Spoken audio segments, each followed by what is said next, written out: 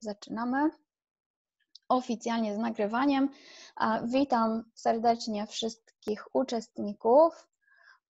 Jeszcze tutaj widzę, że bardzo dużo osób dołącza, mm, ale myślę, że powoli, powoli możemy zaczynać. Ja mam na imię Kama. Witam wszystkich w imieniu PMI e, Oddział Śląsk. A na dzisiejszym naszym wrześniowym webinarze na którym będziemy dyskutować na temat project managementu i change managementu i zastanawiać się, czy lepiej razem, czy osobno, czy musi być razem, czy może być osobno, od jakiej strony, od jakiej strony podejść. Mamy dzisiaj rewelacyjnych gości. Cały czas czekamy na główną osobę, na Krzysztofa, który, który tutaj będzie temat rozkręcał i prowadził od strony change managementu. Myślę, że ponieważ mamy już e, z nami dziewczyny, które będą towarzyszyły Krzysztofowi w omawianiu tego tematu, poproszę teraz o dziewczyny o e, parę słów o sobie, przybliżenie swoich postaci i może wytłumaczenie, dlaczego zostałyście wybrane, żeby towarzyszyć Krzysztofowi w dzisiejszym, w dzisiejszym temacie dotyczącym project managementu i change managementu.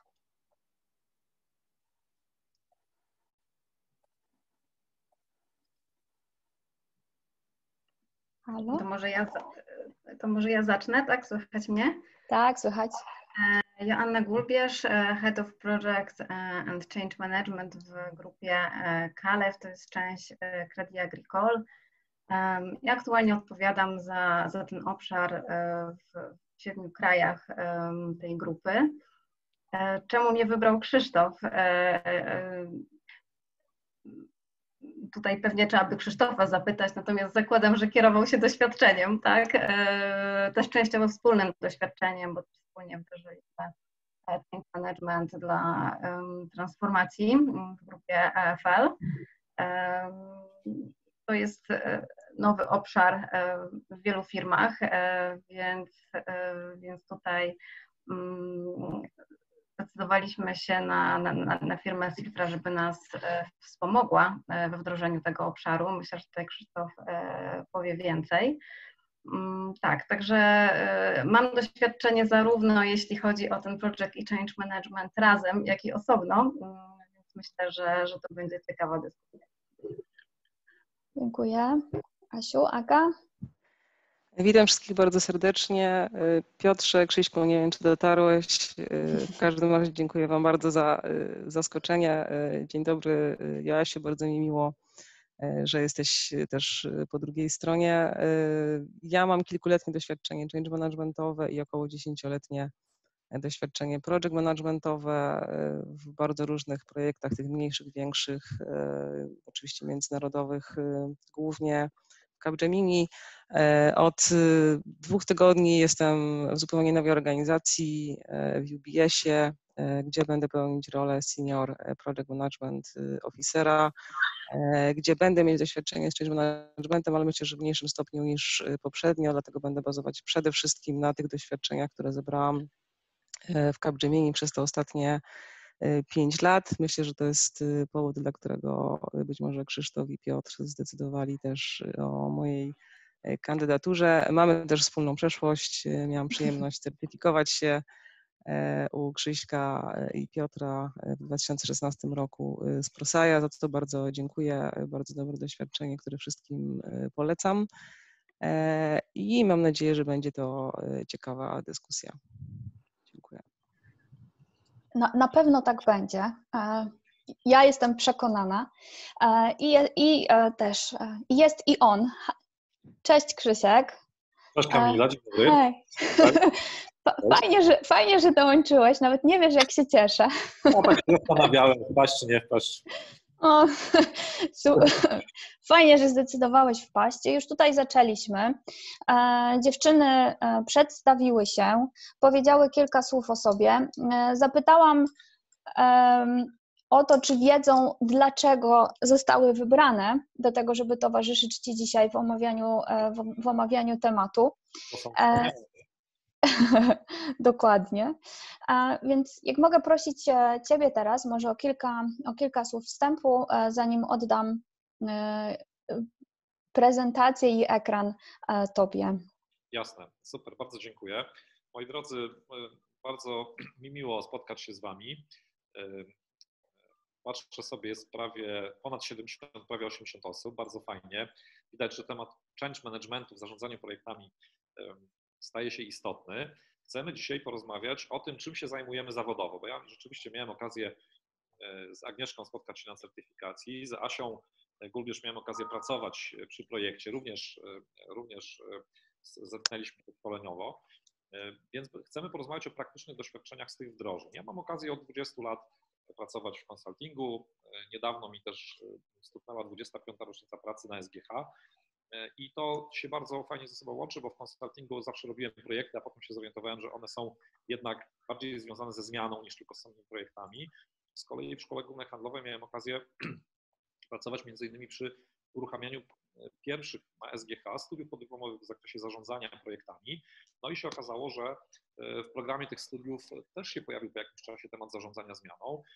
Wielu project managerów mówi, że e, potrzebuje nie tylko się zajmować e, e, zespołem projektowym i strukturami sterującymi, ale również innymi interesariuszami projektu, w szczególności użytkownikami. No i to, to jest właśnie to zetknięcie project change managementu. Ja się tym zajmuję zawodowo, więc oprócz tego rzeczywiście też mam okazję właśnie do uczenia tego w ramach pewnej organizacji międzynarodowej, o której powiem. Więc z perspektywy rozwoju kompetencji project managera wydaje się, że przychodzi taki ciekawy moment na zainteresowanie się change managementem i dzisiaj właśnie o tym chcemy porozmawiać, ale faktycznie e, z jednej strony troszkę powiemy o tym, czym jest change management, ale przede wszystkim faktycznie będę chciał oddać pole do dyskusji Agnieszce i e, Asi, bo mają mnóstwo ciekawych rzeczy do powiedzenia z praktyki, a jednocześnie, moi drodzy, też chcę, żebyśmy troszeczkę się zastanowili nad tym, czym w ogóle jest change management dla project managera, czy jest to być może dodatkowa kompetencja, czy może ścieżka rozwoju zawodowego, może nawet jakaś szansa na coś więcej niż tylko ciekawą e, pracę, e, bo również chcemy Wam pokazać, ile change managerowie zarabiają w stosunku do project managerów. Także taka troszeczkę retrospekcja to, co, do tego, co robiliśmy wcześniej w przeszłość, ale jednocześnie popatrzenie do przodu. Także bardzo Kamila serdecznie Wam dziękuję za to zaproszenie, bo PMI jest bliski memu sercu. Miałem okazję brać udział też w zakładaniu pierwszego chapteru e, Warsaw Poland Chapter, tak się wtedy nazywał. Teraz jest na szczęście już bardzo dużo oddziałów regionalnych, widać, że się prężnie rozwija, więc w ogóle super, bardzo się cieszę z, tego, z tej możliwości spotkania. Chociaż moi drodzy, wszystkie te 76 osób, które są na spotkaniu, kojarzą mi się właściwie tylko z jedną zieloną kropką, która sygnalizuje mi, że kamera rzeczywiście działa. Także to też jest takie zabawne uczucie ciągle, które mam mówiąc do do Was, ale tak naprawdę mówię do zielonej kropki, więc zielona kropko, witam Was serdecznie. Witamy, witamy. Ja jeszcze e, na chwilkę e, w paru zdaniach organizacyjnie, jak dzisiejsza, e, dzisiejsze nasze wydarzenie będzie przebiegało. Najpierw tak naprawdę będzie to miks. Miks prezentacji, duża dawka wiedzy, rozmowy, też nie, nie chciałam powiedzieć testy, ależ nie jesteśmy w szkole, nie testy, ale ankiety, e, które, o które będziemy prosili, żebyście wypełniali w czasie, w czasie, trwania, w czasie trwania naszego webinaru. Jeżeli chodzi o Wasze pytania, bo zakładam, że będzie ich sporo, będę monitorować czat, więc e, proszę piszcie swoje, swoje pytania. Jeżeli będą jakieś bardzo nagłe, związane z e, tematem, który właśnie będzie e, omawiany, czy z konkretną rzeczą, e, wtedy będę próbowała przerwać naszym mówcom i zadać Wasze pytania. Jeżeli będą to pytania ogólne, pozostawimy je sobie na koniec, dobrze? I wtedy poprosimy o, o odpowiedź na nie. Dobrze, to ja e, teraz wyłączam e, e, swoją, swoją prezentację i oddaję Krzysztof głos do studia, do Ciebie. dziękuję bardzo. A nasze studio jest studiem wirtualnym oczywiście, w kilku miejscach w Polsce i jedną z kluczowych osób w tym studio, chciałem powiedzieć studium, ale w tym studio jest Piotr Parys. Witamy Piotra. I Piotrze, poproszę Cię uprzejmie, żebyś nam zechciał teraz mm, uruchomić pewne informacje intro, no i właśnie to, co Kamila powiedziała, prowadzenie w postaci pewnego nie sprawdzianu, ale właściwie bardziej zerknięcia na to, jak my widzimy change management. E, moi drodzy, A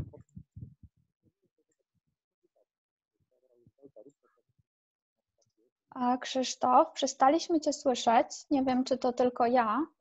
Ja się słyszę. O, halo, halo. teraz. Mhm, tak? Super, powróciłeś. Y, dodałem tutaj na, na, frontową stronę tytuł, cytat z Theodora Roosevelta, rób to, co musisz, tym, co masz i tam, gdzie jesteś. Myślę, że to jest hasło, które łączy project i change management. Oczekiwanie, że dostarczymy. Cokolwiek to dostarczymy oznacza. No i właśnie zastanówmy się, moi drodzy, co my dostarczamy, w jakiej konfiguracji, jak często project manager robią to razem, a może osobno, może nic z tego mariażu nie wyjdzie. Y, Piotrze, zanim zaczniemy, myślę, że warto w takim razie odda, oddam Ci głos i warto, żebyśmy poznali się z aplikacją, z której będziemy korzystać na naszych smartfonach, w tych właśnie urządzeniach też mam już tutaj przygotowane. Także Piotrze, oddaję Ci głos. Proszę bardzo. E, dzień dobry wszystkim, tutaj Piotr Parys Silfa, e, będę producentem tego wydarzenia po stronie technologicznej. E, mamy prośbę, weźcie telefony do ręki i zainstalujcie taką aplikację Poll Everywhere. Ma ona logo takie jak na dole tej strony, którą, którą teraz tutaj zaznaczam. I instalując ją w telefonie, będziecie poproszeni o podanie nazwy prezentacji. I ta nazwa prezentacji jest na środku naszego slajdu. To jest Deep Summit 261. Będziemy korzystać z tego, to jest taki Mentimeter, tylko fajniejszy. Będziemy z tego korzystać przez całe dzisiejsze spotkanie, więc proszę dajcie sobie chwilę na zainstalowanie. Jeśli będziecie jakieś wyzwania z tym mieli, napiszcie na czacie. Mm, Zastanawiam się teraz przy Zoomie, w jaki sposób moglibyście dać znać, że Wam się udało. Może poprzez kciuk w górę. Tak? Jest taki kciuk w górę? Jest kciuk w górę, proszę bardzo. Ja na przykład już mi się udało. Okej. Okay. Przyznam, że kiedy szeruję ekran, e, dzielę się z Wami, to niestety nie widzę tych kciuków. E, ja będę patrzył na kciuki Piotrze i powiem Ci, czy są. Na razie. Super. Jeszcze, o proszę, Ania, dzięki serdeczne. Pierwszy kciuk. Patrzę dalej. Na razie jeszcze nie widzę. Jest to aplikacja działająca i na e, iPhone'ach, i na e, sprzętach e, z innym oprogramowaniem. Joanna podniosła już łapkę też, Marcin także, bardzo Wam dziękuję. Patrzę dalej. Kto jeszcze? Adrian, dzięki serdeczne, widzę. Działa też na webie bez instalowania oczywiście. Chris, dzięki serdeczne. To może powiemy, jeśli ktoś ma, ma słabą baterię w telefonie albo z innych powodów nie chce instalować, e, może wejść na stronę, e, to, to wtedy jest chyba strona Pol EV, a nie Pol Everywhere i wówczas również wpisuje się Deep Summit 261 jako nazwę tego, mm, tego głosowania. W drugim ekranie jesteście proszeni o Introduce Yourself. Zachęcam do wpisania swojego imienia lub imienia i nazwiska. Możecie też e, opuścić tą część klikając Skip.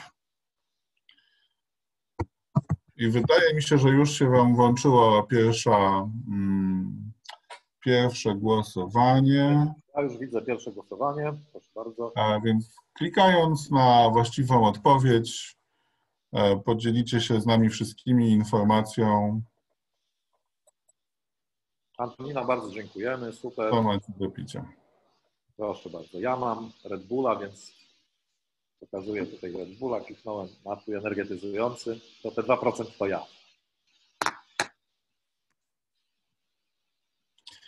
Wspaniałe spożycie wody. Jestem pod wrażeniem, jak zdrowo się e, nawadniamy. A, a nie powiedziałeś, że Red Bull to zdrowo. Bo o wodzie mówię, nie o Red Bullu. No dobrze, chciałem zostać zauważony tutaj przez Ciebie, ale... Okej. Czyli woda do Tak. herbata. No tak, kawa rzeczywiście o tej porze już mniej. Pierwsze pytania są rozgrzewkowe i teraz uwaga, przy drugim pytaniu wyświetlimy Wam mapkę z prośbą o zaznaczenie, gdzie jesteście. Będzie Was korciło, żeby tą mapkę powiększyć, tak rozciągając e, kciuki, palec wskazujący i w momencie, w którym dotkniecie tymi paluszkami oboma, to pineska upadnie w to miejsce, gdzie chcecie poszerzyć tą mapę.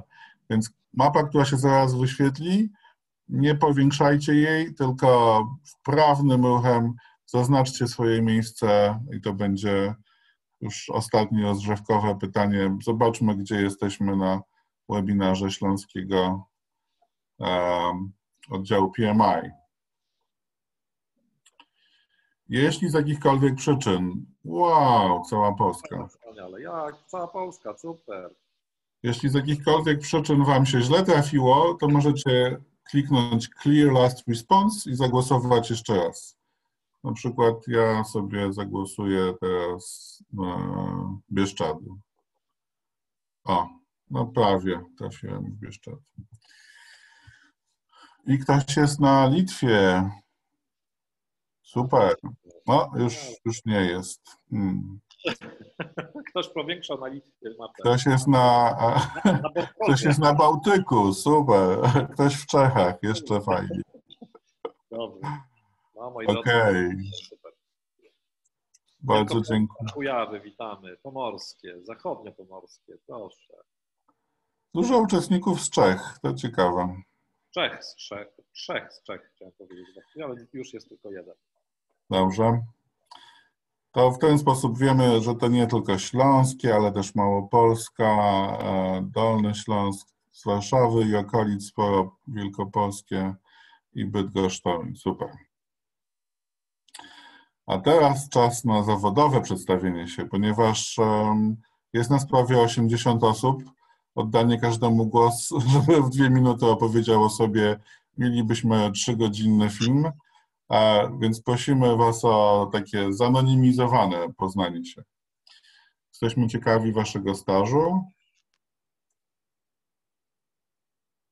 Uwielbiam, jak się zmieniają te słupki, takie wrażenie, że tam coś żyje po drugiej stronie. Jednak. No, widzę, że seniority mamy znaczące. O, już się zmniejszyło seniority nam. Ale znaczące, znaczące rzeczywiście.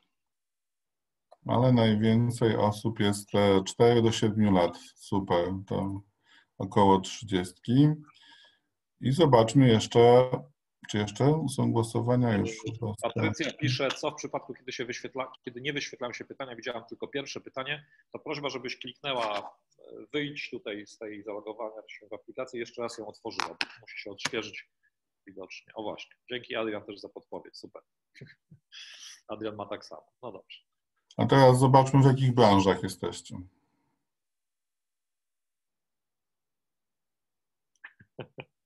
Bardzo mi się podoba kategoria z uśmiechem.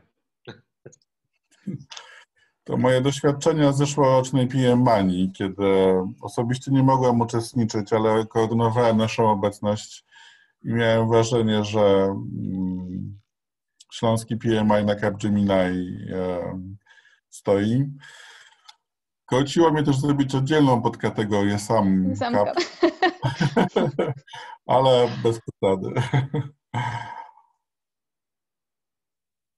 Okej, cieszę się, że jest produkcyjna branża, jedna czwarta, to super. Mm, Ciekawe, jakich branż nie zidentyfikowałem i jest to inne, jedna piąta. Mm. Handel. O, jest coś, to nie pracuje, super. Tak, Szkoda, że nie mamy, szkoda, że nie mamy project managerów e, z teatrów, klubów sportowych albo NGO-sów.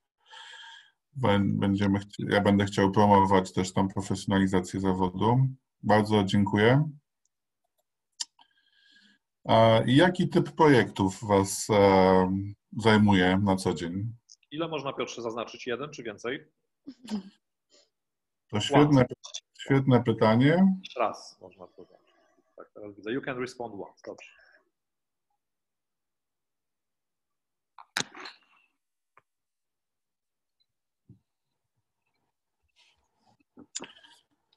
IT mm, dominuje. Wow, połowa projektów to IT.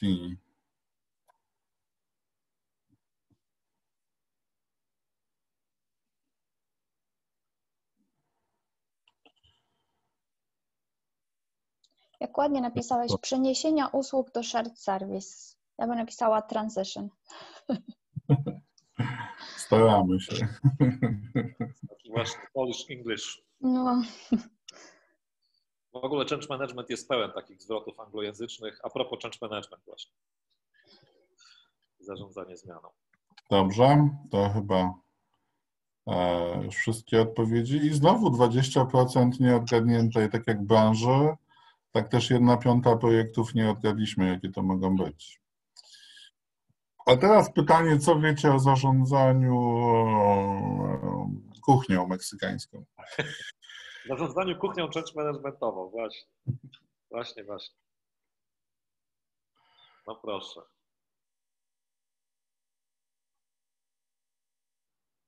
Widzę, że są tu miłośnicy francuskiej kultury. Tak. Atkar.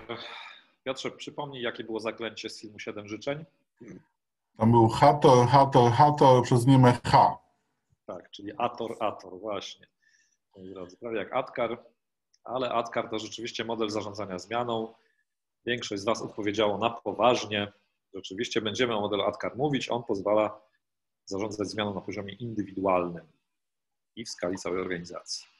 Ale mamy coś jeszcze, Piotrze, z tej kategorii. No właśnie.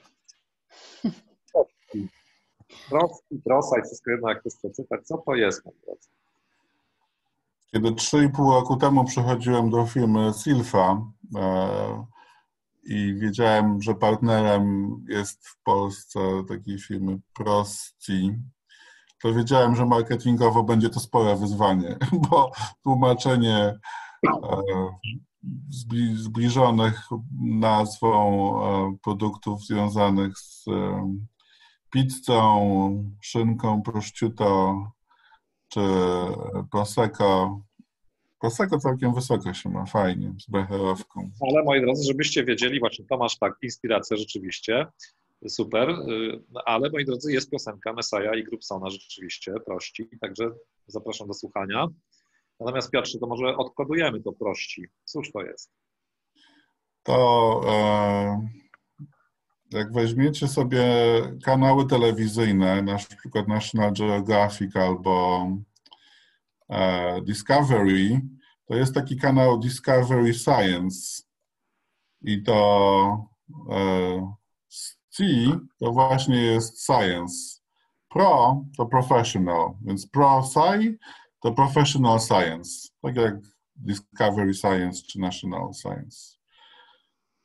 Tak jest, co oznacza, że założyciele Prosaja postanowili opracować metody i narzędzia na podstawie badań nad przypadkami rzeczywistych projektów i zastanawiali się, dlaczego zmiany odnoszą sukcesy, dlaczego kończą się niepowodzeniem i stąd właśnie to professional i sciences, czyli przyglądanie się życiu i przekładanie tego na narzędzia.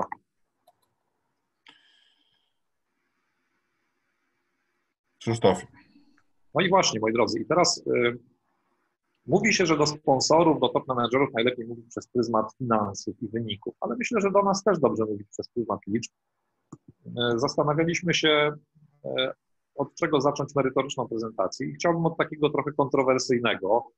Y, Glassdoor pokazuje, pokazuje ile się zarabia, na przykład w Stanach Zjednoczonych. Proszę Zobaczcie, change manager w Stanach Zjednoczonych zarabia więcej niż project manager. Oczywiście dane są tutaj uśrednione. W Wielkiej Brytanii, w Londynie również. To oznacza, że change management jest traktowany na poważnie. I myślę sobie, że jeżeli będziemy dalej rozmawiać o tym, czym to jest, jak to działa, to rozmawiajmy, mając w pamięci, że są kraje, w których jest to poważnie traktowana dziedzina o wartości biznesowej i rzeczywiście na tyle poważnie, że jest wyceniana również finansowo. No jak widzimy w Stanach Zjednoczonych, pensja w wysokości prawie 100 tysięcy, właściwie ponad 100 tysięcy dolarów, bo to jest euro, no to rzeczywiście jest już bardzo przyzwoite wynagrodzenie. Zastanowimy się, moi drodzy, w takim razie, z czego to się bierze.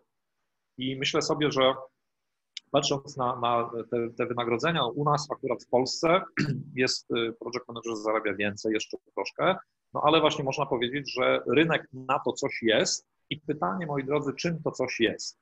I chciałbym teraz, mm, zanim przejdziemy do, do dyskusji, zanim poproszę Agnieszkę i Asię o podzielenie się swoimi doświadczeniami z pracy project managera, pozwolę sobie kilka słów powiedzieć o tym, czym jest change management według ProSci, po to, żebyśmy mogli być na tej samej e, płaszczyźnie, jeżeli chodzi o rozumienie, czym jest zarządzanie zmianą. Czyli Piotrze, przejmę rzeczywiście od Ciebie ekran i wyświetlę prezentację, która na ten temat coś nam powie. Sekundkę. Kamil pyta, nie będę mógł do końca uczestniczyć, więc proszę o info, gdzie nagranie będzie dostępne. Dobrze, damy znać. Jak zobaczył kasę, to się od razu zainteresował, co będzie dalej. Proszę, to.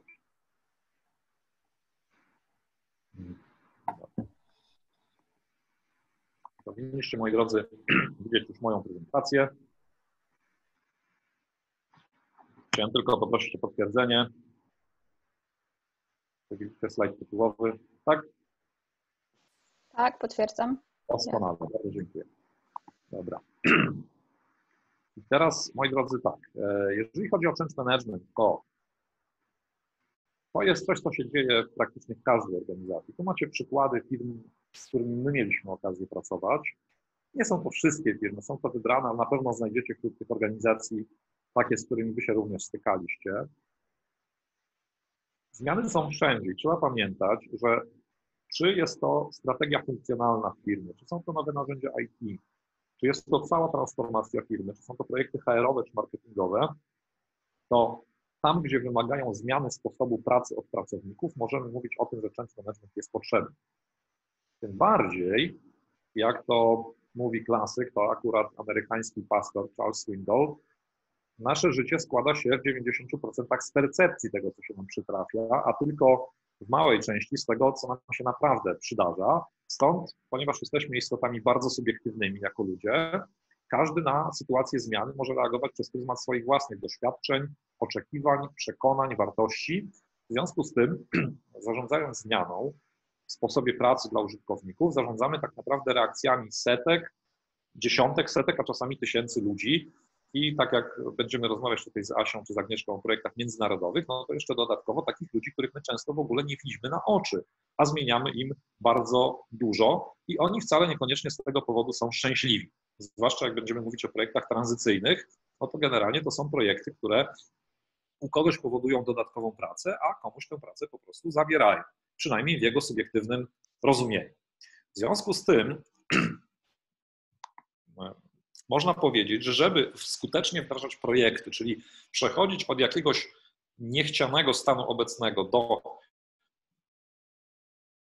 pożądanego stanu docelowego, stąd nawet kolory takie jak światłach drogowych, zielony super, czerwony nie bardzo. My potrzebujemy nie tylko przeprowadzić organizację, wdrożyć technicznie projekt, ale potrzebujemy, aby każdy z pracowników przeszedł również przez swoją własną zmianę, czyli możemy powiedzieć, moi drodzy, że to, co jest tutaj na samym dole, te małe kwadraciki, to są po prostu pracownicy, którzy mają jakiś swój stan obecny, stan przejściowy i także stan docelowy, czyli to, jak będą pracować po wdrożeniu zmian.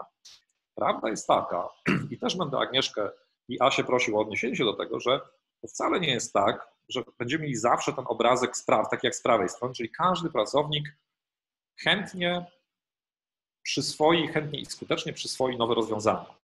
Czasami się zdarza tak, że tylko część, czyli tak jak po lewej stronie, część użytkowników nowych rozwiązań będzie je stosować.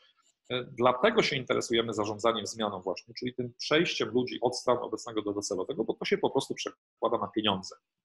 Projekty, które realizujemy w sposób po lewej, z tej z lewej strony, czyli taki gdzie tylko część użytkowników pracuje po nowemu, po prostu te projekty dają niższą stopę zwrotu, są później realizowane i generalnie z punktu widzenia biznesowego są uważane za sukcesy częściowe, są uważane za sukcesy, za wdrożenia dobre technicznie, ale niekoniecznie skuteczne w organizacji. Mówi się czasami o projektach wydmuszkach, czasami są to po prostu projekty, które są porzucane i nie są nawet dokończane i pewnie każdy z Was w swojej karierze takie projekty widział. Żeby tym skutecznie zarządzać, musimy pamiętać zatem, żeby oprócz aspektów technicznych związanych, techniczne to jedno, ale aspektów również, y, czy się można wtrącać? Oczywiście można się wtrącać w każdej chwili, słuchajcie. Ja wtrącanie się traktuję jak element dyskusji, tak jak to jedna moja koleżanka z Danii powiedziała właśnie a propos różnic międzykulturowych w zarządzaniu zmianą, powiedziała u nas feedback to zaproszenie do rozmowy, a ja jej powiedziałem, a u nas w Polsce feedback to krytyka. No i tak sobie potem pogadaliśmy na temat różnic międzykulturowych. I moi drodzy, także Kamila włącza się w dowolnym momencie. Mówię o tym, że aspekty techniczne, ale również to jest działanie skierowane w dużej mierze do zespołu projektowego. Gro czasu kierownik projektu poświęca w tym streamie na pracę z zespołem projektowym i na pracę ze strukturą sterującą. Natomiast w tym streamie związanym z aspektami ludzkimi, gdzie mówimy o przyswojeniu i stosowaniu rozwiązań, Będę czasami się odnosił do terminów anglojęzycznych, bo się możecie z nimi również spotkać w literaturze, czyli adoption and usage. Tam, moi drodzy, kierownik, e, czy właściwie kierownik projektu właśnie, albo change manager, albo jeden w dwóch osobach, albo tenże, e, ten sam change manager, pracuje, gro czasu swojego poświęca na pracę z użytkownikami tych rozwiązań. No i myślę, że to już samo w sobie powoduje różnicę bo e, co innego jest pracować z zespołem projektowym, który jako tako, ale jest dedykowany do projektu, a co innego jest pracować z osobami, które o tym projekcie w ogóle nigdy nie słyszały i mają tysiące innych priorytetów i wcale się mhm. niekoniecznie tym projektem muszą interesować. Natomiast wszyscy klasycy obserwujący e, praktykę wdrożeniową mówią, jak nie zrobisz tego drugiego, czyli tej, tej części związanej z aspektami ludzkimi, to nie będziesz miał rezultatu z tego pierwszego. W związku z tym, tam gdzie duża część efektów biznesowych zależy od pracowników. Change management jest po prostu potrzebny do sukcesu projektu. I teraz od czego zależy sukces zmiany, to tutaj Piotrze poprosiłbym Cię uprzejmie właśnie o to, żebyśmy się przełączyli znowu na Pol EV,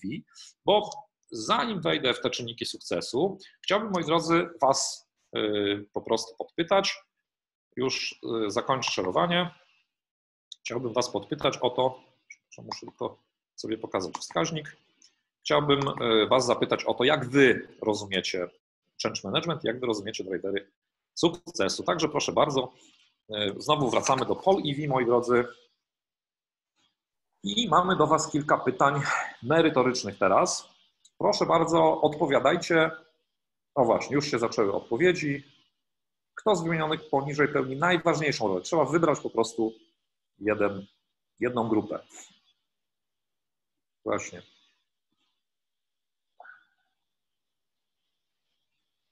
Jesteśmy w gronie project managerów, więc nie dziwi wskazanie, że zespół projektowy, ale tak naprawdę w dużej mierze oczywiście pokazujecie też, że pracownicy, których dotyczy zmiana, natomiast y, z mojej perspektywy ja bym powiedział kluczową rolę dla sprawnego, skutecznego przeprowadzenia zmiany w organizacji mają ci, którzy kierują pracownikami, których ta zmiana dotyczy. Dlatego najbardziej bym preferował odpowiedź D, bezpośrednie przełożeni. Pracownicy, których ta zmiana dotyczy, sami mają na swoim stanowisku tę zmianę wdrożyć oczywiście, więc na swoim stanowisku są za to odpowiedzialni, ale tak naprawdę kluczowi są tutaj z tych grup bezpośrednich przełożeni. Jak widać, HR i komunikacja mają tylko kilka wskazań, no i taka jest prawda, że rzeczywiście mają role istotne, ale pomocnicze, zespół projektowy zresztą też. Idźmy dalej, moi drodzy. Zastanówmy się teraz nad rolami w zmianie. Proszę bardzo, e, z różnych ról, która jest głównym czynnikiem sukcesu zmiany, czy właściwie co jest głównym czynnikiem sukcesu zmiany Dobra współpraca między sponsorami i zespołem projektowym, proszę bardzo. Skuteczni sponsorzy zmiany, dobre rozwiązanie merytoryczne, dobrze dobrany zespół projektowy. No właśnie, i znowu trudno powiedzieć, że któraś z tych opcji jest jednoznacznie do odrzucenia. Y, na pewno od dobrego rozwiązania merytorycznego y, jest, jest to ważne, aby, aby do niego dojść, ale znowu, tak jak Asia i Aga pewnie będą mówić, samo dobre rozwiązanie się nie obroni.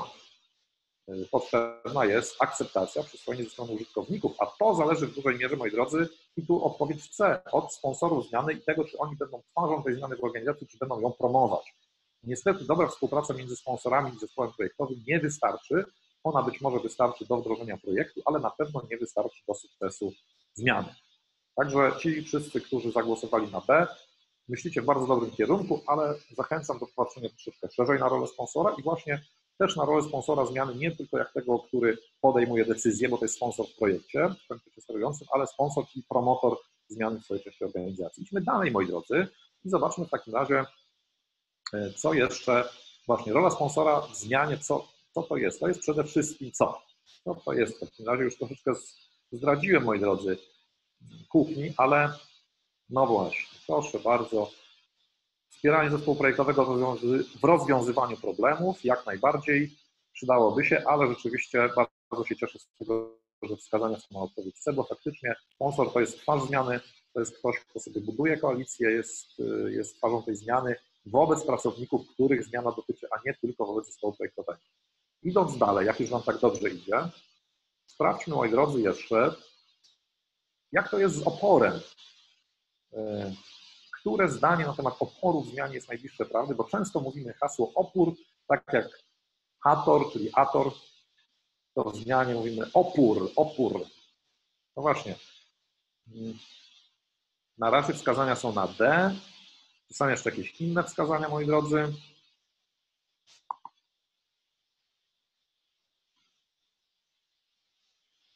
Właśnie Matylda pyta, czy poruszymy temat zmiany w przypadku, gdy główni użytkownicy są, są spoza organizacji, do której sami przynależymy. No myślę, że część projektów, które realizują nasi główni bohaterowie, yy, czyli Agnieszka i bohaterki, przepraszam, powinienem odmieniać, Agnieszka i Asia, yy, oczywiście są w innych, przynajmniej w innych spółkach, nawet z tej samej grupy, ale w innych spółkach, w innych krajach, a yy, na pewno też często w różnych organizacjach.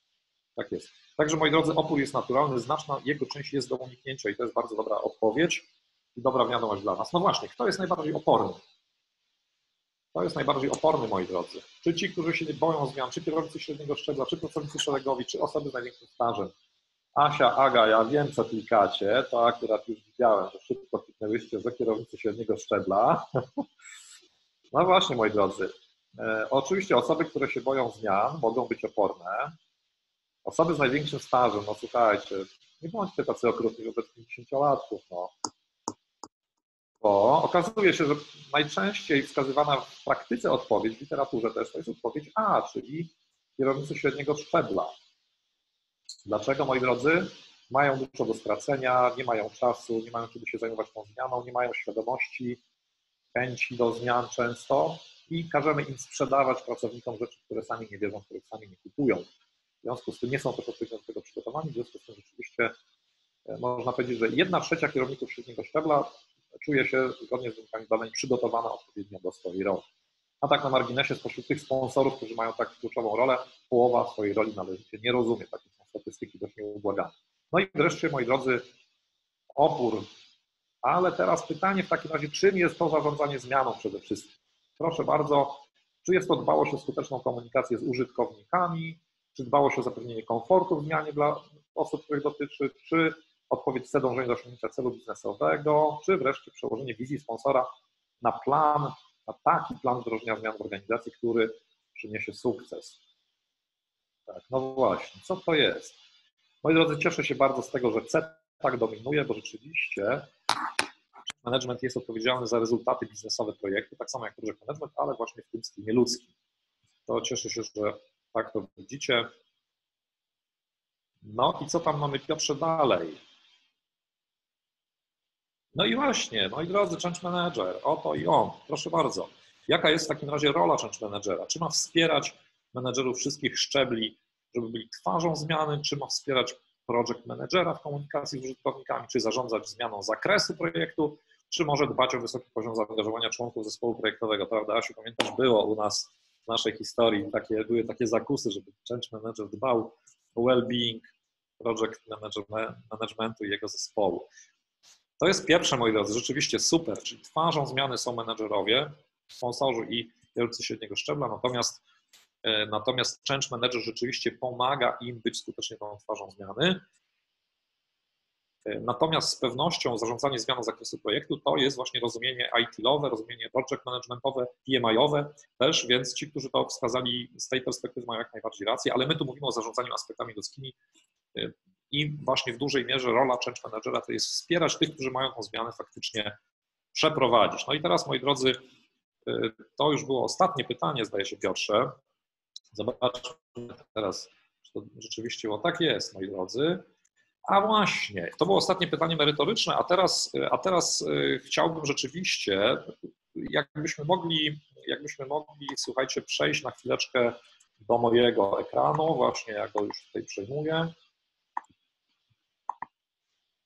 I zatem, i zatem, żeby skutecznie zmiany wdrażać, zwróćmy uwagę, kluczowy jest sponsor i koalicja sponsorów organizacji, czyli wszystkich top managerów, którzy są za tą zmianę odpowiedzialni. Dużo jest na temat komunikacji, na temat zaangażowania pracowników i menedżerów średniego szczebla, ale zobaczcie, ile jest a propos szczegółów technicznych change managementu, dedykowane zasoby do zarządzania zmianą, ustrukturyzowane podejście do zarządzania zmianą i integracja change managementu i project managementu. I to jest bardzo ciekawe, czyli tak naprawdę badania światowe pokazują, że change management po prostu jest potrzebny jako czynnik sukcesu zmiany, ale w specyficznym wydaniu, czyli w takim quasi projektowym, można powiedzieć, dedykowane zasoby do zarządzania projektami też są potrzebne. Ustrukturyzowane podejście też wdrażamy do zarządzania projektami. I wreszcie integracja zarządzania projektem, czy właściwie zarządzanie projektem takie w zintegrowanym cyklu end-to-end -end też jest potrzebne. Stąd te dziedziny, od razu wyprzedzam już to, co będziemy mówić, są bliźniacze do siebie podobne. No i wreszcie na koniec chciałem pokazać, jakie są czynniki niepowodzenia zmian. Moi drodzy, zobaczmy, że ten sponsor się pojawia znowu Brak wsparcia ze strony sponsorów, nieskuteczne pełnienie tej roli to jest czynnik porażki numer jeden, a przypominam, połowa sponsorów niewystarczająco rozumie swoją rolę. No i potem oczywiście mamy jeszcze inne czynniki. Tak czy inaczej, i, i to bym potraktował jako wstęp do, do rozmowy Agnieszko, Asiu, zwróćmy uwagę, że czynniki powodzenia i niepowodzenia zmian związane są w dużej mierze ze sposobem wdrożenia, a nie z tym, co tak naprawdę wdrażamy.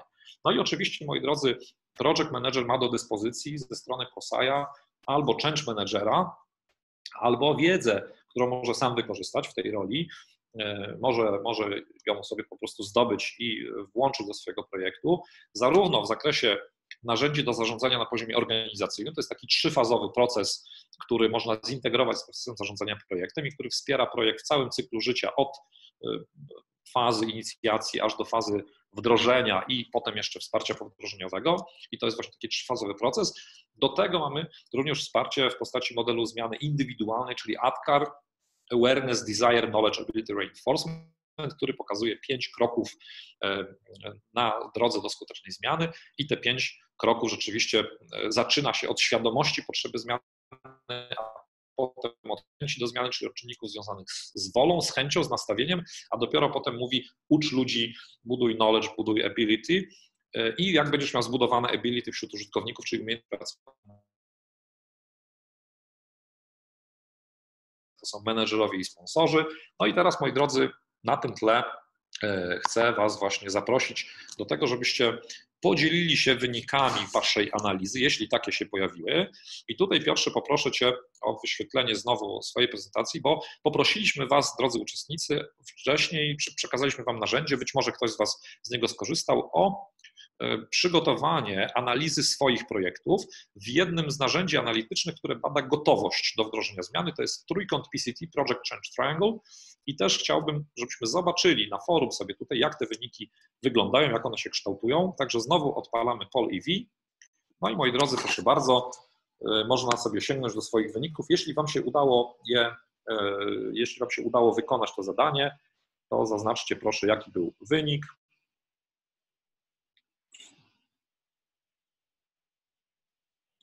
Wysokie oceny.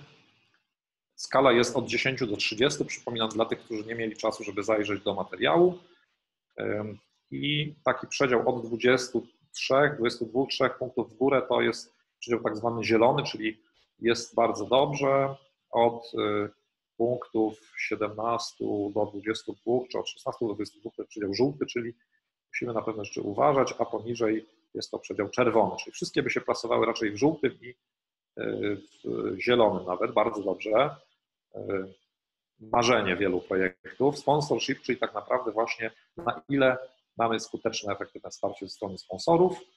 A zobaczmy teraz do drugiego rogu trójkąta, bo ProSci mówi, że jeden czynnik sukcesu to jest sponsorship, ale drugi to jest dobry project management oczywiście. I jakie oceny ma project management w, waszych, w waszym przypadku? Też, moi drodzy, dość wysokie.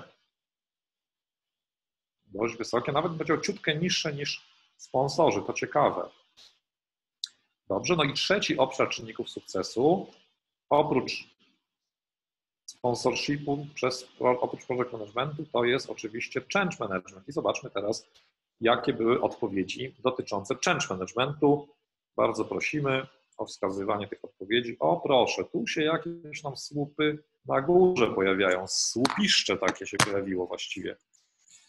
Właśnie, moi drodzy, ale to jest dość typowy obraz, to znaczy project i change management z reguły zyskują wyższe noty. Change management, czyli czy stosujemy jakąś metodę, czy analizujemy wpływ zmian na pracowników, czy integrujemy project i change management i ewidentnie widać, że ta noga troszeczkę nie domaga.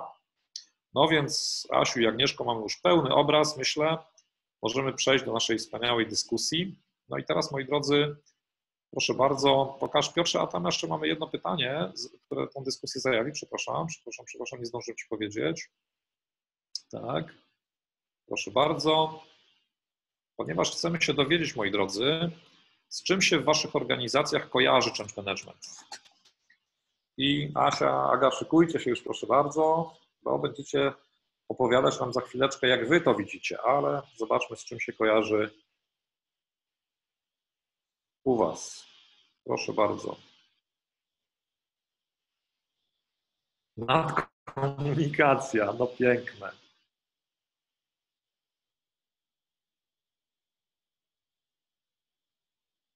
Struktury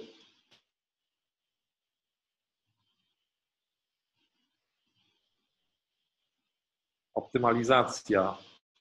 Kolejna optymalizacja, proszę. Ktoś dał tutaj piękny uśmieszek. Proces. No właśnie.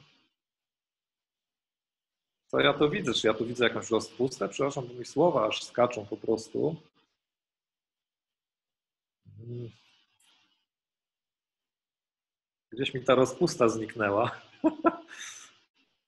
Cóż to jest? No właśnie, kontrola, zobaczcie, komunikacja, struktury, strata, zaniedbanie, proszę, optymalizacja, znowu optymalizacja. Rozpusta, jest faktycznie rozpusta. No dobrze, słuchajcie, to ty, z tym nam się kojarzy change management. Asiu, Agnieszko, proszę bardzo, pierwsze i teraz proszę o wyświetlenie pierwszego pytania dla dziewczyn. Jak rozumiany jest change management w znanych Wam organizacjach? Proszę bardzo, kolejność dowolna. Zapraszam serdecznie naszych gości. Ja może odwołam się do tej rozpusty, e, bo to jest słowo, które rzeczywiście pojawia się tak, e, przy change managemencie, mm, szczególnie jak jest to nowa funkcja wdrożona w organizacji. I ja też słyszałam to słowo, tak? że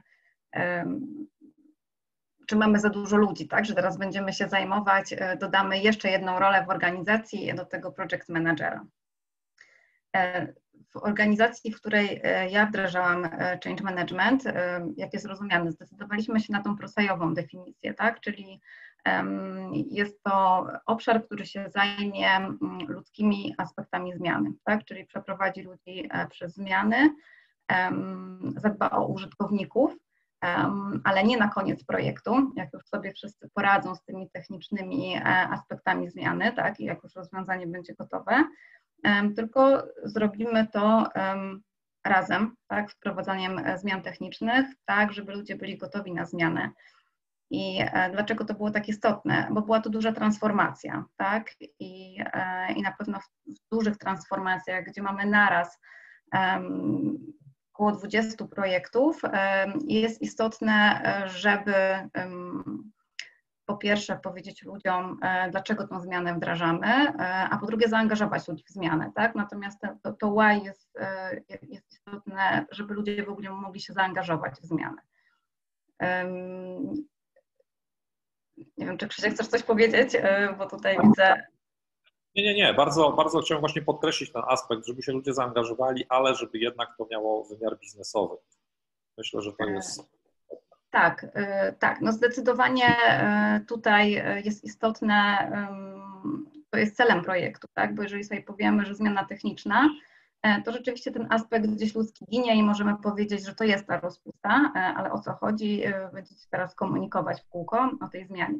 Natomiast jeżeli powiemy sobie, że celem projektu jest dowiezienie konkretnej wartości dla organizacji, tak, czyli nie tylko wdrożenie rozwiązania systemowego, ale żeby to rozwiązanie działało szybko, żeby spełniało oczekiwania, bo myślę, że to jest kluczowe, tak, żeby spełniało oczekiwania użytkowników, żeby oni chcieli używać tego rozwiązania, żeby o nich zadbać w trakcie, żeby ich nie stracić, bo przy dużych transformacjach e, to też często jest takim aspektem e, bardzo ważnym, gdzie jeżeli projekt rok albo dwa lata i tych projektów jest bardzo dużo w organizacji, żeby się nie okazało, że po drodze zgubiliśmy ludzi w organizacji, oni, oni e, obawiali się zmian, nie rozumieli zmian i zdecydowali się po prostu wybrać inną organizację.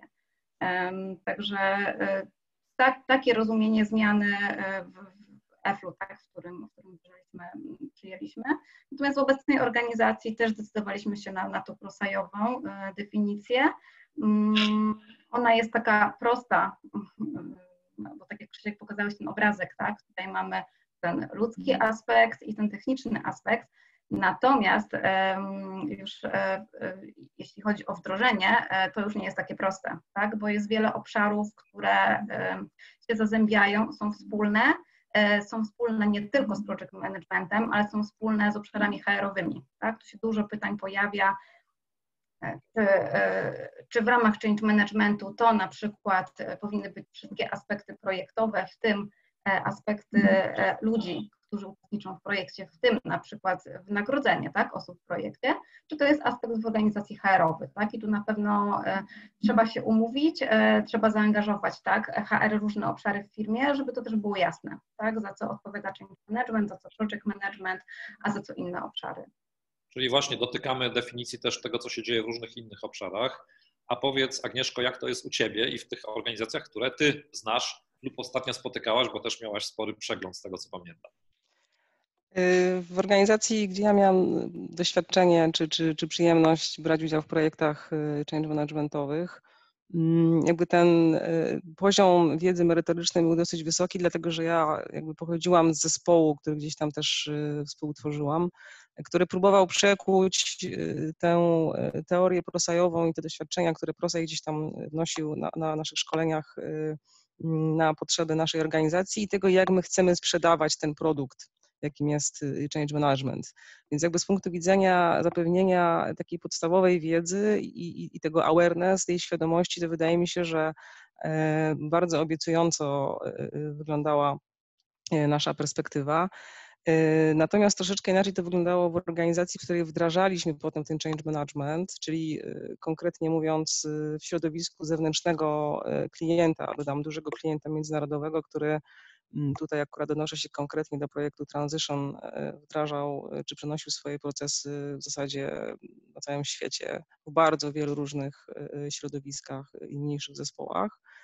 Mm, tam jakby mimo tego, że mieliśmy, nasz zespół projektowy posiadał odpowiednika, czyli tak zwanego Global Change Managera, Region Change Managera i osoby, które gdzieś tam współpracowały jeszcze z nami na potrzeby wdrożenia tej zmiany, to wydaje mi się, że to, jak y, oni chcieli przyjąć y, tę naszą wiedzę i doświadczenia, znacząco różniło się od tego, co było zapisane y, w projekcie. Czyli jakby mieliśmy pierwszą taką pułapkę, że e, e, klient nie do końca rozumiał change management, mimo iż, iż był on, tak jak mówię, wpisany w kontrakt i też jakby nie do końca rozumiał w ogóle potrzebę tej funkcji. Więc jak chciałabym to nazwać jakoś tak kolokwialnie i łatwo, to powiedziałabym, że oni widzieli change management jako taki kwiatek do kożucha. Jakbyśmy chcieli przechodzić do takich y, powiedzmy bardziej już namacalnych odniesień, to zgadzam się z tym, co powiedziała Asia, Myślę, że tam change management był rozumiany jako pewna nadkomunikacja albo takie bezpośrednie wsparcie dla HR-u, który zresztą bardzo pomagał Y, przepraszam bardzo, potrzebował tego wsparcia, natomiast y, no, my nie byliśmy tylko od tego, żeby wspierać HR w pracy, która była jakby po ich stronie do, do wykonania. E, myślę, że to jest bardzo ważne, żeby brać pod uwagę te dwie różne perspektywy, do których chciałabym dodać jeszcze jedną, że zespół projektowy też w moim mniemaniu nie do końca rozumiał rolę change managera. Czyli mamy jakby trzy zupełnie różne perspektywy. Perspektywę change managera, który przychodzi z jakąś wiedzą i doświadczeniem i próbuje wdrożyć e, jakąś konkretną metodologię. Perspektywę klienta, który e, ma wiedzę, ale zupełnie nie ma pojęcia, jak, jak ją zastosować w swoim środowisku. I perspektywę zespołu projektowego, który jest świadom, że jest taka funkcja jak change manager, ale też nie jest przekonany, że wie, co ta rola ma wnieść do projektu. Więc tutaj bardzo ważne jest, żeby na samym początku projektu, nawet w tej fazie, kiedy planujemy project managementowe, e, e, milestony, czy, czy kamienie milowe, czy, czy harmonogram, czy to, co musi być dostarczone fizycznie z technologicznego punktu widzenia, żeby wiedzieć również, jak zaplanować pracę E, change managera, włączając go na każdym etapie i starając się o takie powszechne zrozumienie tego, na czym polega ta rola. Do tego dodałabym jeszcze bardzo ważny element, on się potem będzie powijał jeszcze, pojawia w naszej dyskusji, związany z tym, jak właśnie określona jest i jak rozumiana jest przez wszystkich rola change managera, kim jest change manager, jak on współpracuje z project managerem i tak dalej. No to można, można by powiedzieć, tak słuchając Ciebie teraz Agnieszko, że Y, jakbyśmy, znaczy, że w ramach wprowadzenia tej roli w ogóle change managementowej, to już sama w sobie często jest zmiana, jak się zaczyna projekt i trzeba taką mini zmianę przeprowadzić, żeby ta rola w ogóle mogła się tam pojawić. No i wyobrażam sobie, że jeśli mamy kilku uczestników projektu jeszcze z różnych organizacji, tak jak to Matylda tutaj pisała na czacie, y, co z projektami w organizacjach y, innych niż nasza, no to właśnie to trochę mi przypomina pił, na przykład piłki, drużynę piłki nożnej, w której część zawodników myśli, że gra w piłkę ręczną, inna część myśli, że gra w koszykówkę. My byśmy chcieli w nogę, ale tak naprawdę dopóki sobie nie ustalimy pewnych reguł gry, nie ponazywamy pewnych rzeczy, nawet nie będziemy mieli wspólnego języka wobec tego, czym jest ten change management w organizacji, to po prostu okaże się, że będziemy grali w różne gry i tak jak Asia tu mówiłaś, właśnie jeszcze jest HR, jest jeszcze komunikacja, więc mamy tutaj już, już jakby pierwsze takie e, rafy do pokonania, żeby w ogóle móc pracować efektywnie. A powiedzcie proszę teraz, y, czy w ogóle w takim razie project manager potrzebuje change managementu? Pytanie może trochę na ostrzu noża mocno stawia sprawę, ale przyznam, jest to pytanie, które czasami zadają mi klienci, osoby, z którymi pracuję. Bardzo jestem ciekaw, co wy byście, Asiu, Agnieszko, powiedziały na ten temat. Ja myślę, że y, y, mm, nie ma jednej dobrej odpowiedzi, ani takiej zero-jedynkowej. Też Krzysztof pewnie się nie spodziewasz takiej odpowiedzi. E, bardzo zależy to od wielu czynników. Po pierwsze zależy to z mojego punktu widzenia od kompleksowości y, projektu. W projektach, które są złożone i wymagają zaangażowania wielu interesariuszy projektu, którzy reprezentują różne stanowiska, różne grupy E, specjalistów e, w projektach, które trwają, nie wiem, dwa lata. E, nie wyobrażam sobie, że project manager pokrywa całą pracę, którą musi wykonać na potrzeby takiego efektywnego wdrożenia zmiany, przeprowadzenia ludzi przez zmiany. Natomiast w projektach, które trwają kilka tygodni i dotyczą wdrożenia, gdzie ci odbiorcy bezpośrednio zaimpaktowani przez zmianę E, z kolei nie wpływają na przykład na kulturę organizacji, na wartości, na pewne standardy. Wydaje mi się, że project manager fizycznie jakby jest w stanie pokryć y, te obszary. W takich projektach, gdzie y, z kolei musimy się liczyć y, z jakimiś dodatkowymi, tak jak mówię, grupami interesariuszy, którzy są z jednej strony po stronie organizacji, którą my reprezentujemy, i po stronie organizacji klienta, E, change manager, project manager muszą, muszą ze sobą ściśle współpracować, natomiast na pewno nie jest możliwe, żeby jedna osoba też z takich praktycznych po prostu powodów mogła pokrywać obydwie te role w tym samym projekcie. Czyli mamy czynniki związane ze specyfiką projektu, z wielkością, z wpływem w ogóle zmiany na użytkowników. A pytanie, Asiu, jak to jest w Twojej organizacji, w Twojej grupie. Mhm. Project management potrzebował i potrzebuje czegoś tak, zgadzam się tutaj na pewno z, z Agnieszką, że to zależy, tak? Zależy od wielkości projektu, ale też typu projektu, tak? Bo są projekty, E, w których e, nie wystarcza nawet jeden change manager, tak? Trzeba zbudować e, cały zespół change managementowy. Są projekty, w których nie wystarcza jeden project manager, więc tutaj też nie ma możliwości, żeby jedna osoba ogarnęła wszystkie aspekty. Mam na myśli project management i change management, ale też są projekty, w których jedna osoba nie jest w stanie ogarnąć wszystkich aspektów managementowych. Tak? E, takim przykładem e, może być na przykład zmiana biura. Tak? E, projekt, który w głównej mierze dotyka właśnie tych aspektów ludzkich, szczególnie jeżeli mówimy, że będziemy... To jest projekt budowlany zmiana biura, nie? Przenosi. Tak, tak, to tak, może źle to ujęłam, przeniesienie pracowników tak, do nowego biura i zapewnienie, żeby efektywnie pracowali, bo myślę, że to jest celem e, takiego projektu, e, a nie postawienie budynku, bo to zwykle robią firmy zewnętrzne i ten budynek na pewno stanie, tak, i na pewno e, jak się ogłosi wszystkim, że macie z dnia na dzień się przenieść, to się ludzie przeniosą. Pytanie, jak to wpłynie na, na efektywność pracy. Tak? I tutaj ten, tego typu projektach aspekt managementowy jest bardzo ważny i często no, potrzebny jest cały zespół, tak? E, który, który zadba o te aspekty e, razem, razem z HR-em. E, natomiast, bo to pytanie jest takie trochę tricky, tak? Czy project manager potrzebuje change managera? Ja bym powiedziała, że organizacja potrzebuje change managera, bo to też jest pytanie, jakie cele ma postawione project manager, tak? Bo jeżeli on ma dowieść rozwiązanie techniczne, E, I, i, I to będzie sukces, że rozwiązanie będzie działać, e, to myślę, że project manager nie do końca może, może potrzebować change managera, bo change manager będzie przeszkadzał, tak? E, bo change manager ma za zadanie sprawić, żeby ludzie byli gotowi na, na, na zmianę, pomóc w tym.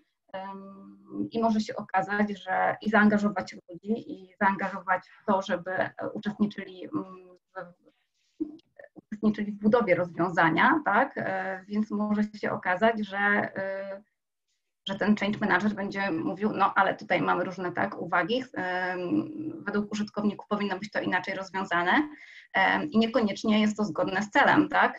I gdzieś tam nam to wydłuża harmonogram. I dlatego ja bym raczej powiedziała sobie o organizacji, o typie projektu, tak? Czy on potrzebuje change managementu.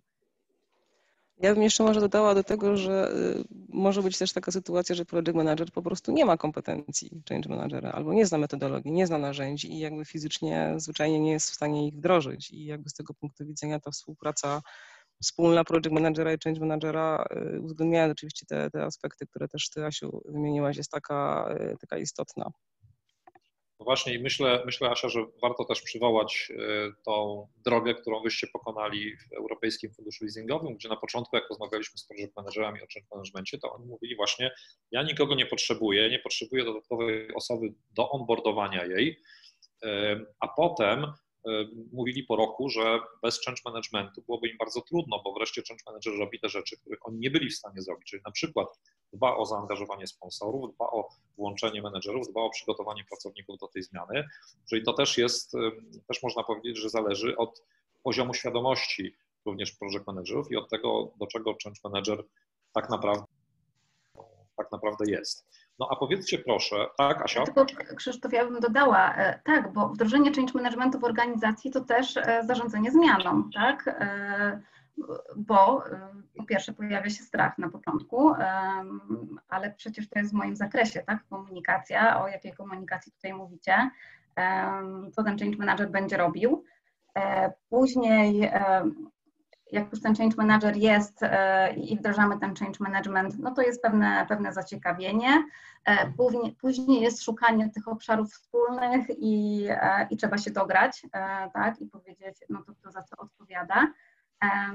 A im dalej w las, tym się okazuje, że no, dajcie na tego change managera na, na 100%, bo, bo fajnie, że jest, może się zająć naprawdę dużą częścią projektu, tą, często tą, tą miękką częścią i tą komunikacją, a też jeżeli tylko w części projektów jest change management, no to się pojawia taka konkurencja, tak? Ludzie widzą, że ten projekt jest dobrze skomunikowany, wszyscy wiedzą o tym projekcie w organizacji, ten sponsorship jest poukładany i, i chcą tego change managera, tak? I myślę, że e, no i to jest już ten, ten, ten, ten, ten, ten fajny moment, tak? Kiedy, kiedy ten change management pokazuje rzeczywiście wartość. W ogóle ten styk project change managera budzi dużo emocji. Widzę, Edyta pyta nas tutaj, jak reagują project managerowie, gdy muszą współpracować z change managerem. Czy sytuacja rozmycia odpowiedzialności jest częsta? Edyta, bardzo Ci dziękuję za to pytanie, bo ono dokładnie jakby idzie w kierunku e, naszej dalszej dyskusji, bo właśnie chciałem e, również, Agnieszko, Asiu, zapytać Was, e, jak w Waszych organizacjach to jest rozwiązane, na czym polega rola change managera versus project managera i właśnie dokładnie jak się ta współpraca w praktyce układa, bo pytanie Edyty sugeruje właśnie, że może być coś takiego jak rozmycie odpowiedzialności. Proszę powiedzcie, jak to jest w, waszych, w świetle Waszych doświadczeń. Ja bym chciała zacząć może od takiego przykładu, żeby odpowiedzieć e, na to pytanie, że w obrębie jednego e, projektu, w którym miałam przyjemność brać udział e, w zeszłym roku, byłam na spotkaniu, gdzie mieliśmy do czynienia z grupą reprezentowaną przez amerykański zespół change managerów i project managerów i, i tą pochodzącą z, z, z Europy, może nie będę dookreślać konkretnego e, kraju. I w tej grupie e, amerykańskiej project manager powiedział do change managera, czego on konkretnie oczekuje, mówiąc, że on nie ma czasu na to, żeby przesiadywać na wszystkich spotkaniach z interesariuszami projektu po to, żeby zadbać o ich dobre samopoczucie i że on ma konkretne oczekiwania co do dostarczenia pewnych treści w związku z tym, że przygotowywaliśmy wtedy Change Readiness Assessment, że oczekuje wyników konkretnych badań i tak dalej, że to nie jest zupełnie jego broszka, więc on e, e, nie wyobraża sobie, że będzie musiał brać w tym udział. Natomiast w grupie europejskiej e, change manager powiedział, że dostarczy wyniki badań na konkretny termin, na co project manager niemalże ucałował ekran z radości, nie mając w ogóle pojęcia, że change manager w ogóle pokrywa takie aspekty i że jest przeszczęśliwy, że będzie mógł trochę odetchnąć w weekend, nie będzie musiał pokrywać pewnych, czy, czy wykonywać pewnych zadań. Wydaje mi się, że jakby brak y, zrozumienia tej, tej funkcji, takiego, takiej uważności na to, jakby gdzie, gdzie są te granice e, wzajemnej współpracy e, i jaki ma być e, konkretny wynik tej współpracy, czy, czy, czy gdzie jest cel tych działań, jest, jest bardzo częsty. Ja się z tym spotykałam nieustannie. Sama kiedyś wcześniej jako project manager, później jako change manager zastanawiałam się, jakby, które dokładnie obszary ja muszę pokryć, które musi pokryć mój project manager. E, to jest bardzo częsta sytuacja i, tutaj takie regularne spotkania e, po jednej i po drugiej stronie, e, które służą temu, żeby dokładnie rozmawiać o tym, jakby co my dostarczamy, za co jesteśmy odpowiedzialni, jak możemy wesprzeć jedną i drugą stronę. Czasami zdarza się, że to jest gdzieś napisane, ale nieraz to jest wesoła teoria, smutna praktyka, jak pisała Konopnicka, tak? Czyli to, że coś jest napisane niekoniecznie znaczy, że, że wszystko idzie po Bożemu i, i E, i dokładnie wiemy, jak postępować. Trzeba być elastycznym, trzeba odpowiadać jakby na bieżące potrzeby projektu. Czasami zdarza się, że chcemy wesprzeć project managera, bo akurat mamy czas w obszarze, y, który do niego należy. Jest dużo takich obszarów, Proset też o tym pisze, w obszarze ludzi, w obszarze procesów, metodologii, narzędzi, wyników, rezultatów. Tam, gdzie możemy się wesprzeć, y, to, to myślę, że jest to kwestia jakiegoś wzajemnego dogadania się, nawet jeżeli jakoś to wykracza poza, poza te role, y, które są gdzieś spisane w karcie projektu.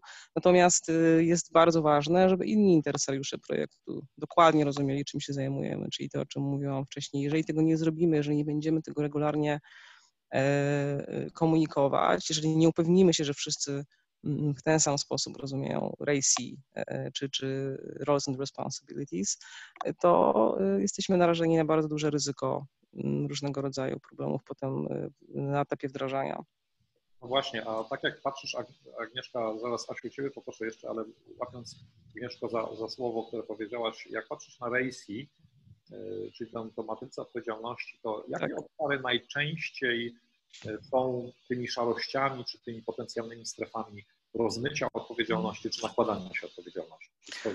Takie top dwa trzy obszary? Myślę, że tam, gdzie y, mamy wszystkie aktywności związane z analizą interesariuszy, e, z analizą ryzyk pod kątem tego, jak, e, jaki jest wynik e, analizy interesariuszy, czyli tam gdzie mamy, gdzie używamy matrycy wpływów i interesów.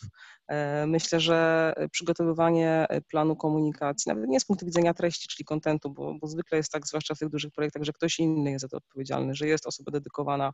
Myślę, że, że Asia też będzie o tym mówić, że tam, gdzie jest cały zespół dedykowany change managerów, to te role są bardzo skrupulatnie podzielone, ale może się zdarzyć tak, że to, że to project manager i change manager e, próbuje gdzieś tam e, również pokryć.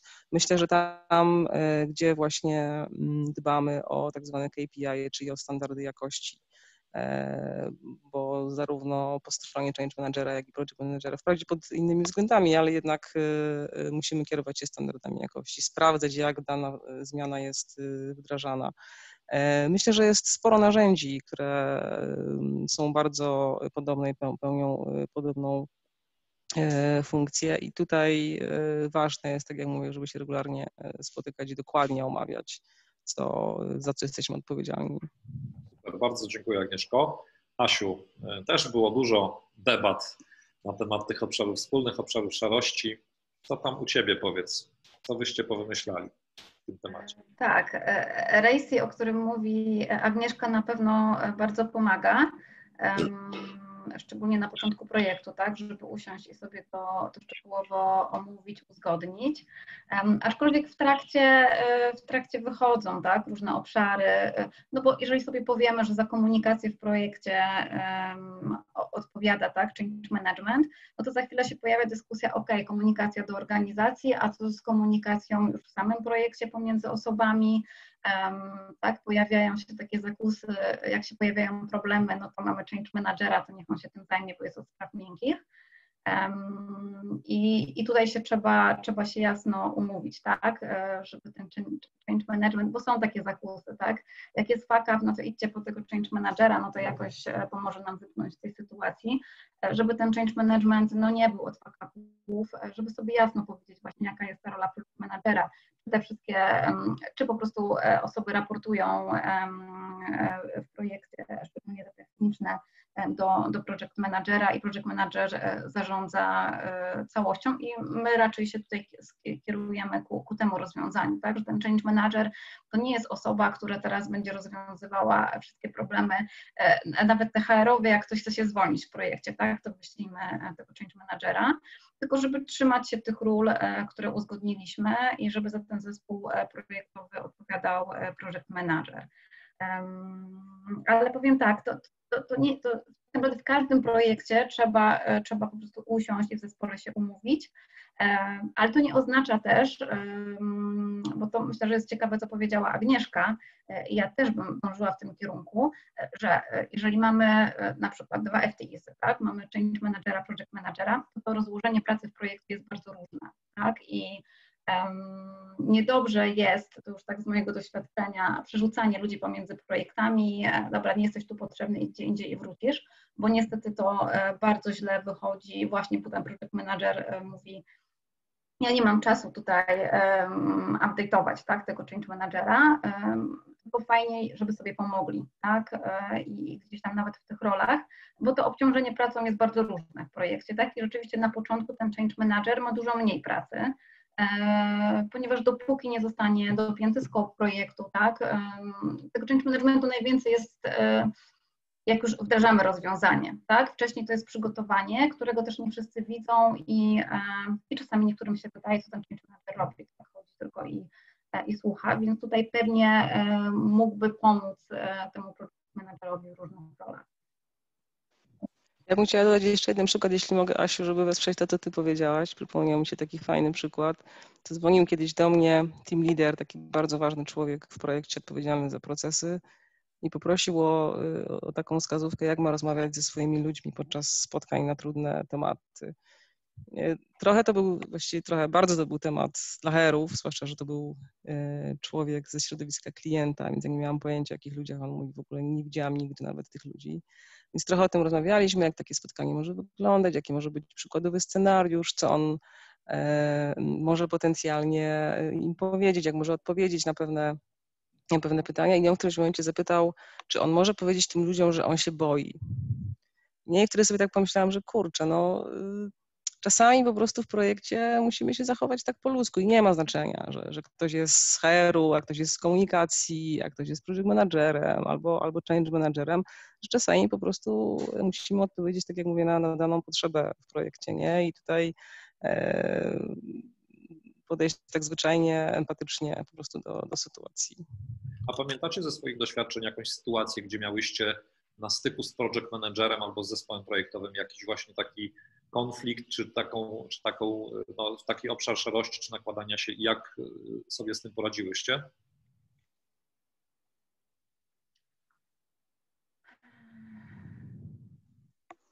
Ja bym powiedziała, że nie miałam takiego bezpośredniego konfliktu, ale był taki moment, że ja miałam poczucie, że właśnie wchodzimy sobie trochę w buty i z jednej strony dublujemy naszą pracę, a, a z drugiej strony tracimy czas, że to jest nie, nieefektywne e, i że ja muszę mieć czasami w sobie trochę więcej e, asertywności, żeby tą granicę wyznaczyć jako change manager.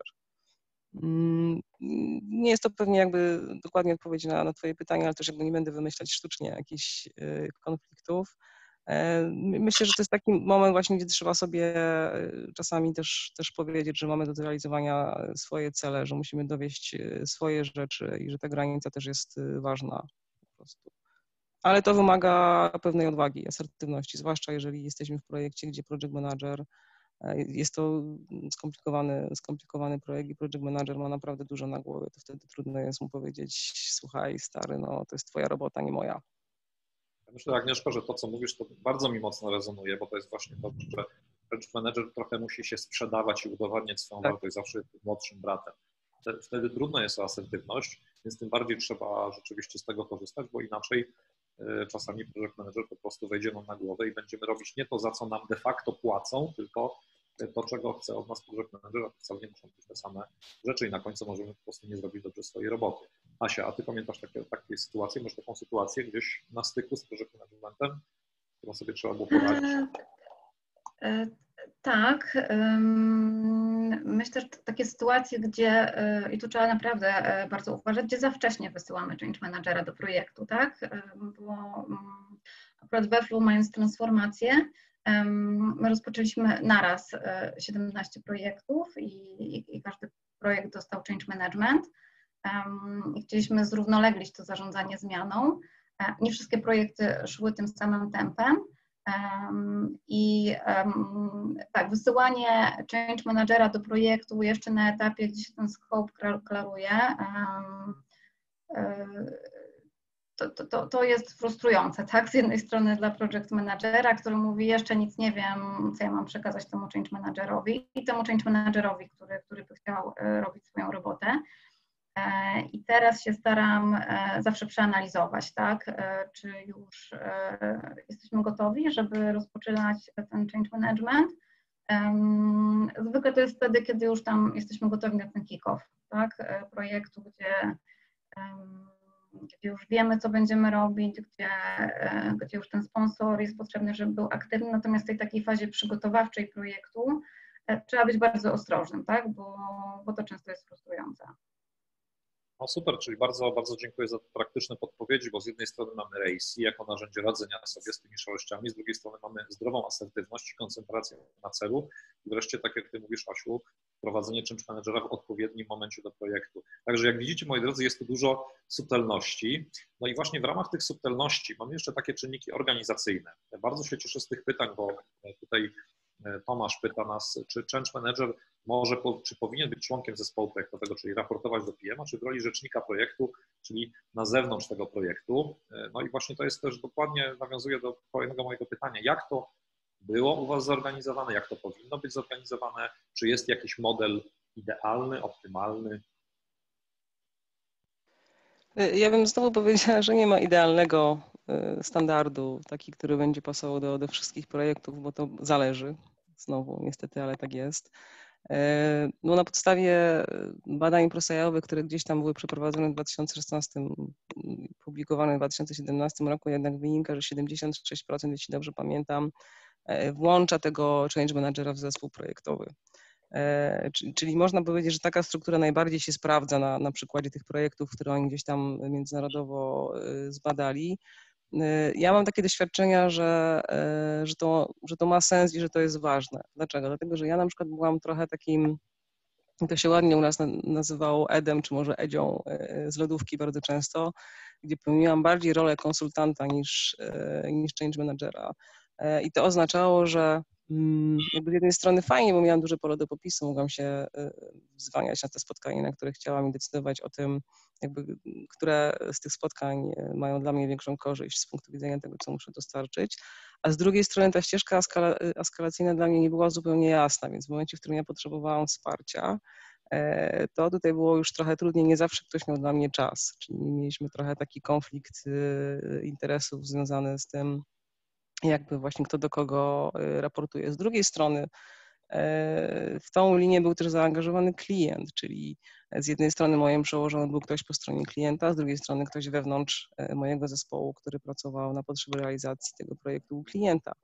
E, więc y, taki model, gdzie change manager jest częścią zespołu projektowego i jest włączony w ten zespół jako pełnoprawny członek, a nie, tak jak powiedziałam wcześniej, kwiatek do kożucha pasażer na gapę, nie wiem, konsultant z lodówki, e, to jest zdecydowanie lepsze rozwiązanie, bo z jednej strony ono jest bezpieczne dla tego change managera i dzięki temu e, on może bardziej efektywnie wykonywać swoją pracę. I też z punktu widzenia jakby sponsora, autorytet tego change managera nie cierpi wtedy tak bardzo, kiedy on jest, tak jak mówię, pełnoprawnym członkiem zespołu projektowego, nie mówiąc już o tym, że on wtedy figuruje E, legalnie w agendzie e, bardzo ważnych e, spotkań. Ja pamiętam, że miałam z tym duży problem na początku, nie było mnie na agendzie żadnych spotkań, dlatego że nikt nie wiedział, gdzie tego change managera należy w strukturze czy gdzieś tam mm, w organizacji umieścić. Dzięki Agnieszka. Asiu, pamiętam, że przy naszym wdrożeniu change managementu w ogóle temat, jak powinien być zorganizowany project management versus change management, to była jedna z podstawowych kwestii. Tak, e, dokładnie. E, na początku, bo to było change management dla całej transformacji, tak? Nie był dla pojedynczego projektu. I tutaj trwały długie dyskusje, e, bo nawet nie o tym, czy change manager będzie członkiem zespołu, bo na to żeśmy się zdecydowali, że będzie zapięty też na sukces tak, tego projektu, ale do kogo będzie raportował, tak? To, to, to tutaj były długie dyskusje. Mm, czy będzie bezpośrednio do sponsora raportował, e, czy będzie do PM-a raportował, tak? I my zdecydowaliśmy się na ten model, gdzie, gdzie będzie e, pod sponsorem e, ten change manager i będzie no, pod rękę tak, z tym project managerem, bo będą razem współpracować, natomiast um, będą mogli um, razem uczestniczyć, w szczególności w komitetach sterujących, um, będą e, komunikować się ze sponsorem, w szczególności, że my też e, tutaj mocno skupiliśmy się na tym wsparciu dla sponsorów i budowaniu koalicji sponsora.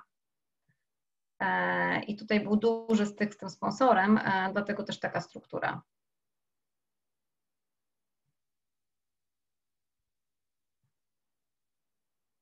Krzysztof, nie słyszymy. Tak, tak ciekawe bardzo, bo to, co Agnieszko, ty powiedziałaś, że może być zaletą, to ty, jakby pokazałaś inny model i też pokazujesz jego zalety. I myślę, że właśnie to, te badania proste, do których się Agnieszko odwołałaś, pokazują, że są stosowane różne modele i rzeczywiście to jest bardzo sytuacyjne. Natomiast, moi drodzy, myślę, że w ogóle kwestia organizacyjna jest tu bardzo istotna, bo to tak jak w project managementie, do kogo raportuje PM, to taką mu wyznacza przestrzeń do działania. I tutaj też e, do kogo raportuje change manager, to również wyznacza taką przestrzeń do działania. Ja przyznam, że z EFLA pamiętam bardzo mocno taką sytuację, Asiu, gdzie myśmy na początku chcieli wdrożyć e, właśnie taki dość elastyczny model pracy change managera, czyli w zależności od tego, jaki jest projekt, to powinien raportować do sponsora albo powinien raportować do PM-a i nasza pani sponsor, członek zarządu do spraw HR, bardzo jasno powiedziała, mówi słuchajcie, na początku wszyscy change managerowie muszą raportować do sponsorów, bo inaczej change management się nigdy nie przebije. I to dla mnie było też takie bardzo dobitne, prawda, że, że sponsor znający specyfikę organizacji, e, był tutaj sponsor wdrożenia change managementu, był bardzo skutecznym przewodnikiem e, i, i nam podpowiedział rozwiązanie, które mogło w tej organizacji w tym momencie zagrać, więc to, a, a zdaje się, że teraz e, stosujecie różne rozwiązania, prawda, już w waszych projektach po jakimś czasie. Tak. Znaczy ja myślę, że tutaj Krzysztof wchodził jeszcze dodatkowy aspekt, tak, że ten change management był nie tylko do wdrożenia w projektach, ale był do wdrożenia na poziomie całej organizacji, tak przekonania e, też wszystkich i pokazania e, wartości, jakie dostarcza i stąd też e, taka decyzja, tak, a nie inna. Mm, ale myślę, że tutaj też decydowała struktura całej transformacji, tak. Mm, to, że było tyle projektów, my też chcieliśmy na poziomie Change Management Office uspójniać komunikację, tak, bo kierowanie komunikacji z 17 projektów by po prostu zabiło organizację komunikacyjnie. E, więc my też zbudowaliśmy właśnie tą strukturę, tak jak był Project Management Office postawiony, tak był Change Management Office postawiony. Ta bliska współpraca pomiędzy, mm, pomiędzy jednym i drugim, jedną i drugą komórką. Także myślę, że tak, rozwiązań jest wiele i trzeba się zastanowić, tak, za każdym razem, e, co będzie miało większe korzyści. E, też właśnie, czy ten change management jest już ugruntowany w organizacji, czy, czy go trzeba wdrożyć, czy wszyscy rozumieją, po co jest ten change management właśnie, czy, czy, trzeba zrobić change management dla change managementu, tak? E, to też e, może zabawnie brzmi, ale żeby go wdrożyć, e, to, to na pewno warto zbudować strategię change managementową, tak? I komunikację. Super. No i właśnie do kolejnego pytania. Tak, a ja pozwolę sobie na chwilę przerwać, ponieważ e, jest 20, czyli teoretycznie planowany czas zakończenia naszego wydarzenia. E, nie chcę przerywać tej dyskusji, bo myślę, że jest interesująca. Też tutaj pytania cały czas wpływają, więc jeżeli nie macie nic przeciwko, dodamy sobie trochę czasu. Wszystkim tym, którzy z nami byli i niestety nie mogą zostać dłużej. Bardzo dziękuję za, za obecność, a e, wszyscy, którzy chcą pozostać, zapraszamy jeszcze do paru minut z, Jaki z nami. Jeszcze, tak? 10 minut do kwadransa, tak Kamila? Dobrze. Myślę, że tak. No właśnie to moje kolejne pytanie nawiązywało dokładnie do jednego z pytań z czatu. E, Antonina pyta, czy droga do change managera prowadzi przez project managera, a ja chciałbym zapytać najpierw jeszcze o, o troszeczkę inną rzecz. Jakie kompetencje są kluczowe w roli project managera i jak je rozwijać? No i właśnie jaką rolę ma tutaj doświadczenie project managementowe? Aga, jak byś tu zechciała y, najpierw podzielić się swoimi doświadczeniami? E, wiesz co, powiem że dla mnie e, ta rola change e, managera to jest taki bardzo osobisty wątek, bo ja się przekonałam, pełniąc tę, tę rolę i też gdzieś tam rozwijając się w tym kierunku, że to jest takie doskonale, doskonałe uzupełnienie dla project managera, jakby dla mojej pracy w roli project managera. Stąd jakby mm, cały ten bagaż jakichś doświadczeń, jakichś kompetencji, też poruszanie się w jakichś metodologiach i narzędziach, e, e, zaczęłam powoli uzupełniać tymi kompetencjami, powiedzmy, bardziej e, miękkimi. Stąd jakby z mojego punktu widzenia te kluczowe kompetencje to są takie trochę bardziej miękkie, nie zapominając jednak o tym, bo to często się dzieje, że change manager też działa wedle jakiejś struktury że change manager też używa jakichś narzędzi, change manager też porusza się e, w obrębie bardzo konkretnego harmonogramu i to, co dostarcza, to są też zupełnie namacalne e, rzeczy. Często to są jakieś e, dane, które on musi poukładać, włożyć w jakieś frameworki i tak dalej. Więc jakby nie zapominając o tym, moim zdaniem kluczowa kompetencja to byłaby no jednak pewna dojrzałość, taka z jednej strony zawodowa, a z drugiej strony taka też y, emocjonalna. Wcześniej wspomniałam o tym, że change manager to jest ktoś, kto czasami musi umieć y, postawić granice, to jest ktoś, kto musi czasami też y, tupnąć nóżką e, wtedy, kiedy to jest konieczne i to jest też jakby osoba, która no, musi być bardzo elastyczna, musi naprawdę mieć, mieć cierpliwość dla bardzo różnych charakterów. Z jednej strony to są osoby, które e, pochodzą z bardzo wysokich stanowisk, czy reprezentują bardzo wysokie e, stanowiska. E, z drugiej strony są to nasi koledzy i koleżanki z zespołu z pracy. Czasami są to jacyś szeregowi pracownicy, którym też należy okazać pewną empatię i szacunek, więc kolejną kompetencją to byłaby taka elastyczność tak? Jakby change manager musi mówić językami wielu specjalizacji i wielu różnych, powiedziałabym, wrażliwości ludzkich. Tyle ode mnie. Czyli raczej powiedziałabyś, że to change manager się dostosowuje do sytuacji, a nie sytuacja do change managera. Myślę, że rzadko się zdarza, że change manager ma taką komfortową sytuację, że ona się dostosowuje do niego. Raczej musi odpowiadać na to, co się dzieje. Jeżeli ma taki komfort, że ma wpływ na, na rzeczywistość, którego otacza w projekcie, to mu zazdroszczę. Asiu. No moja droga jest podobna, tak? Ja też e, wywodzę się z projektów, tak? I, i, i wdrażania e, zmian biznesowych, tak? Zmian IT.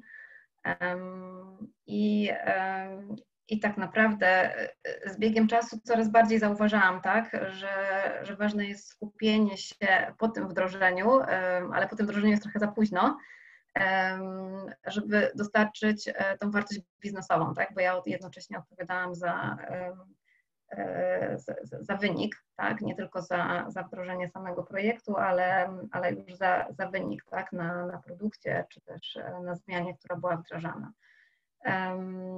I, ale e, w organizacji wdrażając change management zdecydowaliśmy się na change managerów też z tych obszarów pozaprojektowych, bo nam też zależało na tym, żeby osoby znały ten obszar, tak, w którym będzie zmiana E, i zdecydowaliśmy się te osoby przeszkolić z change managementu, także drogi na pewno mogą być różne. Zgadzam się z Agnieszką, że bardziej e, tutaj istotne jest doświadczenie, taka dojrzałość, umiejętność rozmowy ze sponsorami, taka też zrozumienie działania organizacji, tak, bo tutaj często na projekcie no najtrudniejszym aspektem jest e, zbudowanie koalicji sponsorów i zrobienie tego dobrze. E, tak, bo to jest, no to jest rozmowa z zarządem, to jest rozmowa z dyrektorami, rozmowa z menadżerami. Jeśli chodzi o kompetencje, to my tak mówimy, to jest e, ta miękka część e, zmiany, ale z drugiej strony potrzebne są kompetencje analityczne, tak, bo przynajmniej w tym podejściu prosejowym, tak, robimy wiele badań, bo nie chcemy kierować się tylko intuicją, ale chcemy kierować się e, tą sytuacją, która jest obecna i, um, i, i, szukać rozwiązań tak, do tej obecnej sytuacji. Um, więc um, dobrze, żeby ta osoba e, też e, potrafiła przeanalizować dane, miała taką umiejętność syntezy. Także myślę, że tutaj wiele kompetencji, wiele kompetencji się przydaje. Natomiast to jest ważne, e, że w tych dużych projektach no to często są zespoły change managementowe. To nie jest tak, że to już musi być człowiek orkiestra, e, bo na pewno można zaangażować osoby z komunikacji, tak, żeby tą komunikację e, kreatywnie przygotować. No w momencie, kiedy trzeba gdzieś tam postawić strony na internecie, no to też, też odpowiednie osoby w organizacji. Więc tutaj myślę, że taka umiejętność współpracy też z ludźmi i wykorzystania tych kompetencji w organizacji, tak, jest kluczowe, żeby zaangażować odpowiednie osoby i żeby odpowiednio rozdzielić zadania, e, więc to już taka kompetencja project managementowa, tak. A ja tutaj pozwolę, się, pozwolę sobie wtrącić się, bo tak naprawdę wszystkie te kompetencje, które Asiu wymieniłaś, to dla mnie są kompetencje PM-a. Mhm. Każdy PM też musi je mieć, tak? Um, więc mhm. Czy to jest tylko tak, wiesz, charakterystycznie dla change managera? No nie, bo powiedziałabym, że wszystkie te też PM musi posiadać, nie? Mhm, bo e, no, w mojej obecnej organizacji e, my tą rolę w ogóle łączymy, tak? Więc no e, oczywiście fajnie, jakby osoba te wszystkie kompetencje miała. Patrząc tak z doświadczenia, powiem tak, są osoby, które się tak bardziej, że tak powiem, skłaniają ku temu change managementowi i bardziej lubią te zadania E, są osoby, które wolą taki czysty project management e, i niekoniecznie chcą się bawić, bo tu już jeśli chodzi o, postawienie takiej komunikacji, w ogóle strategię komunikacji w takiej mhm. dużej transformacji, no to tu już wchodzimy w mocno miękkie aspekty tak, zbudowania tych komunikatów. Nie każdy to lubi, tak? A też umówmy się, na dużych transformacjach ma możliwości, żeby jedna osoba łączyła te wszystkie aspekty. Tak, to tak jak Agnieszka powiedziała na początku, jak mamy małą zmianę i ona jest w jakimś jednym departamencie, tak, w jednej części organizacji i trwa trzy miesiące, e, no to fajnie oczywiście, żeby to jedna osoba zrobiła, tak, bo to jest też najbardziej efektywne, tak, kiedy nie trzeba angażować pięciu osób i, e, i, i sztucznie gdzieś tam budować zespołu i komunikacji, sytuacji, kiedy jedna osoba może te wszystkie role pełnić, tak? Natomiast już od dużej transformacji, no myślę, że ciężko byłoby z takiego e, project managera, który na co dzień e, zajmuje się tymi aspektami, tak, organizacyjnymi, harmonogramami, prowadzeniem komitetów, no to teraz zrobisz komunikację dla całej organizacji. Nie każdy może się w tym odnaleźć, tak? Więc tak jak powiedziałam, fajnie jest, jak mamy możliwość, no bo to też nie, nie zawsze tak e, e, jest taka możliwość, żeby mieć osoby z, z organizacji i wykorzystać odpowiednie kompetencje. Natomiast no, na dużej transformacji, przy, jeżeli mamy naście projektów, to nie wyobrażam sobie tak, żeby, żeby jedna osoba, nawet dwie miały tym zarządzić. Mhm. Czyli, czyli tak naprawdę można powiedzieć, nawiązując do pytania też e, Kamila, czy CM musi być PM-em, to bardziej chcemy, żeby change manager był ogarniaczem niż psychologiem, tak byśmy to nazwali. Co wy na to, szanowne panie? Zgadzacie się z tym? Na pewno jest dużo łatwiej change managerowi, który ma za sobą doświadczenie project managementowe. To, to jakby jest nie, nie, niezaprzeczalne. Nawet się nad tym jakoś dłużej chyba nie ma co zastanawiać. Bardziej powiedziałabym, że na ile jakby on świadomie e, potem pracuje z tym doświadczeniem już w roli change managera, jeżeli pełni tę funkcję osobno, powiedzmy. E, mnie się bardzo przydawało doświadczenie project managera w tej roli. Wszystkie te aspekty, o których Asia wspominała, były cały czas silne, obecne. Jeżeli change manager nie ma doświadczenia project managementowego, to myślę, że jest też w stanie sobie jakby poradzić, poradzić w tej funkcji. Jeżeli zna metodologię, zna narzędzia, E, i rozumie kontekst biznesowy i też rozumie, e, jak działa project manager albo przynajmniej metodologię, według której dany projekt jest e, zarządzany, to na pewno sobie poradzi. Natomiast nie mając tego, tego doświadczenia, mówiąc najprościej, jeśli nie zjadł zębów na, na poprzednich projektach, to w wielu sytuacjach może mu być po prostu trudniej, ale znowu to zależy od tego, w jaki projekt jest zaangażowany jak blisko sponsora jest y, usytuowany i tak dalej, więc y, będzie to kolejny raz zależało tak naprawdę od projektu, moim zdaniem. E, tak, e, ja tu jeszcze myślę... E, znaczy ja tu myślę o tym change managerze. Wiele aspektów w change managemencie e, to są te projektowe, tak? Bo w ramach strategii change managementowej przygotowujemy harmonogram, analizujemy ryzyka, przygotowujemy cały plan wdrożenia, tak? Różnych działań, tak, wspierających zmianę. Powiem Ci, Krzysztof, że ciężko jest odpowiedzieć, odpowiedzieć tak jeden do jednego, bo przy tych dużych projektach, gdzie jest cały ten zespół change managementowy, Rzeczywiście osoby mogą się specjalizować tak, e, w samej komunikacji, natomiast w takim średnim projekcie, gdzie mamy tego change managera, który blisko współpracuje z project managerem, no to on musi z jednej strony trzymać się harmonogramu, tak, ściśle współpracować, reagować na te zmiany, umieć analizować całą tą dokumentację projektową, a z drugiej strony realizować te, te, te, te um, um, zadania change managementowe. Czyli mówiąc krótko, którzy pytają, a propos doświadczenia project managementowego change managera, to mają słuszność, no bo ono jest bardzo przydatne i de facto można powiedzieć, że dobry change manager to jest tak naprawdę ktoś, kto dobudowuje do pewnych kompetencji bazowych project managementowych jeszcze jakieś kompetencje, a nie wystarczy być na przykład wyłącznie psychologiem, czy wyłącznie zajmować się komunikacją, czy pewnymi elementami wsparcia, żeby być skutecznym change managerem e, prowadzącym całość tego, tego zakresu. Tak ja to z tego, co mówicie. Zdecydowanie no, tak. Słuchajcie, to myślę, że musimy się zbliżać rzeczywiście do końca. Ostatnie, dosłownie po jednym zdaniu. Jakbyście zechciały, właściwie może dwa zdania, bo pytanie składa się z dwóch części. Co jest najfajniejszego w pracy change managera i czy ten zawód ma przyszłość? Kolejność dowolna, bo pytanie takie trochę wyrywające może z, z butów, ale co wy na to dziewczyny? ja odpowiem, od, od, odpowiem odwrotnie, w sensie najpierw na drugie pytanie. Jedno zdanie. Y, myślę, że jest teraz ogromna koniunktura i zapotrzebowanie na change management, e, również w Polsce. Mm, wprawdzie jeszcze nie wiemy, jak to robić i, musimy pokonywać różne bariery kulturowe, ale, ale, myślę, że jeżeli ktoś e, chciałby być change managerem, to, to powinien się interesować tym tematem, bo będzie dla niego miejsce na pewno na rynku pracy. E, co jest najfajniejszego? Mm, ja uważam, że to jest bardzo trudna praca, więc jak mi się cokolwiek udaje, to jestem przeszczęśliwa każdy mały sukces smakuje podwójnie. E, każdy człowiek, który e, jest jakoś przekonany do zmiany, e, jest dla mnie wielkim sukcesem. A jeżeli przy okazji realizujemy dzięki temu główne cele projektu, to już jest w ogóle idealnie. Brzmi fantastycznie. Dużo satysfakcji. Dzięki bardzo, Agnieszko. Asia. Co jest takiego najfajniejszego? Ja myślę, że ta różnorodność, tak? bo każdy projekt jest inny. E, project Manager też tak naprawdę jest na, tak, każdy projekt to jest, e, to, to jest coś nowego, trzeba podejść do tego inaczej.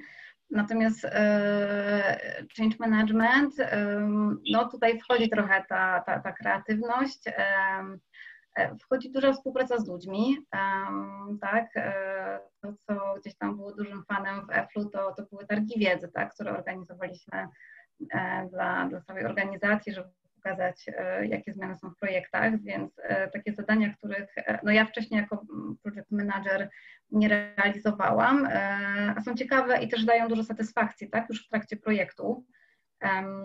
Więc ja myślę, że to jest dużo takich aspektów które są ciekawe. No same badania, tak, są, są mega ciekawe, które robimy w trakcie, e, żeby sprawdzić, gdzie są ludzie w zmianie, to, że mamy mm, na bieżąco no, taki pomiar tak, projektu, to, to gdzie jesteśmy, to takie zbieranie feedbacku, że oczywiście możemy powiedzieć, że project manager też powinien się kontaktować z użytkownikiem, uwzględniać, e, uwzględniać e, jego opinię, Natomiast change management, e, ten, ten prosajowy mocno to strukturyzuje i też dostarcza narzędzi, tak, e, których możemy, e, możemy użyć. I oczywiście project manager też może tego użyć, bo ja bym tutaj unikała raczej dyskusji, czy project manager może, czy nie może i tak dalej, bo tak jak powiedzieliśmy, to zależy od wielkości projektu, tak? I w ogóle super byłoby, jakbyśmy mieli w organizacji ludzi, którzy mają obydwie kompetencje, E, bo, bo moglibyśmy ich przydzielać do różnych projektów i realizowaliby rolę, która w danym momencie byłaby odpowiednia. I myślę, że to byłoby idealne dla organizacji, e, ale, ale, e, ale tak naprawdę ludzie mają pewne preferencje, lepiej się sprawdzają w jednych zadaniach, tak, inne trochę im ciążą i więc fajnie, jak można, można w organizacji gdzieś tam to dopasować i wykorzystać tak, te kompetencje, w których ludzie się e, najlepiej sprawdzają. No i też dzięki temu ta praca to, to jest dla nich fan, tak, i mają, i mają satysfakcję z tego, co robią. Super, a ma przyszłość zawód? E, zawód. Znaczy patrząc na gdzieś tam na inne kraje, tutaj Krzysztof mieliśmy okazję tak być e, w zeszłym roku na, na konferencji nowej to jest rozwinięta działka, tak? W Australii, gdzieś tam nawet e, RPA, tak? Widzieliśmy projekty, które e, no miały super, tak? Zrobiony change management i widać było, że to była duża, duża część projektu, w którą naprawdę zainwestowali kupę kasy. I jest to kierunek, e, który na pewno będzie się rozwijał. E, tak patrząc nawet teraz na te zmiany, e, które są covidowe, tak, gdzie ludzie pracują zdalnie, gdzie e, ta komunikacja no też jest um, może nie utrudniona, bo niektórzy mówią, że jest nawet łatwiej, tak, bo ludzie nie chodzą po tylu spotkaniach, gdzieś tam niektórzy efektywniej pracują. Natomiast no, trzeba pomyśleć nad innym sposobem dotarcia na pewno, tak? I, I dopasować tą komunikację do sytuacji, do projektu, i ja myślę, że ten obszar będzie się w Polsce rozwijał. Porównując gdzieś tam z Francją, to na pewno jest wyzwanie cały czas w Polsce, tak? E, bo, bo takie mam doświadczenie, że we Francji to zarządzanie zmianą, ta komunikacja, to wszystko jest takie naturalne i nie trzeba tłumaczyć tej potrzeby. W Polsce się zdarza, że, że że są dyskusje, tak, po co to robimy, co nam to daje, trzeba to wytłumaczyć, pokazać, więc myślę, że długa droga jeszcze jest przed tym change managementem, ale będzie się rozwijał. Super. Mimo wszystko brzmi to optymistycznie.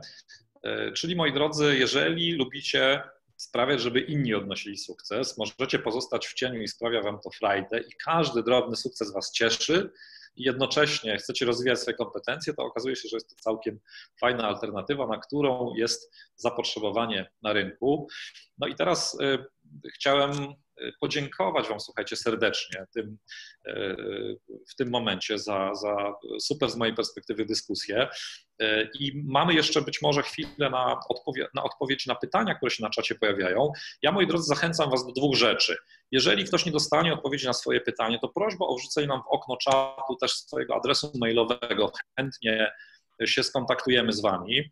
E, e, natomiast e, proszę też, żebyście zechcieli napisać nam na czacie chociaż dwa zdania, jedno, dwa zdania, z czym wychodzicie z tego spotkania, czy co było w nim dla Was najbardziej istotne, jakie wątki były najistotniejsze, więc zachęcam teraz do, do, do zapisania w czacie, zanim się jeszcze z niego wylogujecie. A teraz już serdecznie dziękując moim wspaniałym rozmówczyniom, oddaję głos Piotrowi Parisowi z prośbą o podsumowanie tego spotkania, ewentualnie właśnie poprowadzenie jeszcze dyskusji z czatem, jeśli będzie chwilka. Także proszę bardzo, pięknie Wam dziękuję i Piotrze, oddaję Ci głos do studia naszego w Warszawie. Dziękujemy. Dzięki Krzysztofie.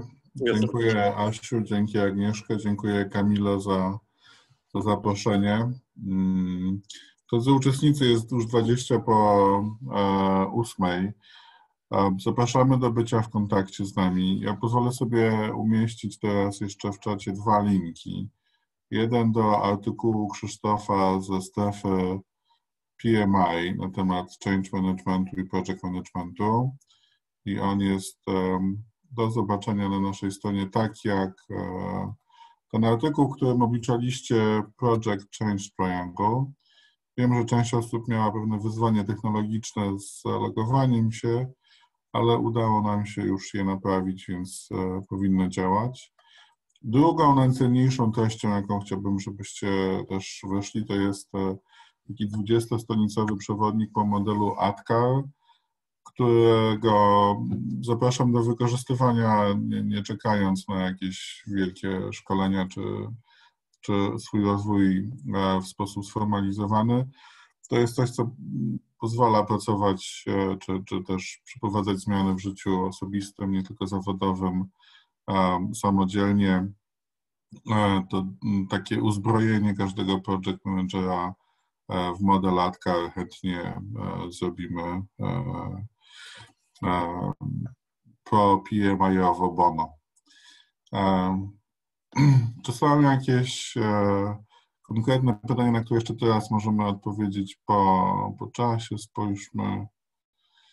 E, pytanie od Błażeja. Z czego według Was wynika problem w polskich firmach braku zabudżetowania stanowiska change managera i zakładanie, że project manager może pełnić jednocześnie także rolę change managera? Czy zawsze chodzi o skąpstwo? Ciężko uwierzyć.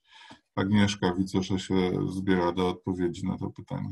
Tak, uważam, że to jest świetne pytanie e, i odpowiem krótko, żeby Was już tutaj wszystkich nie, nie trzymać e, dłużej przed komputerami.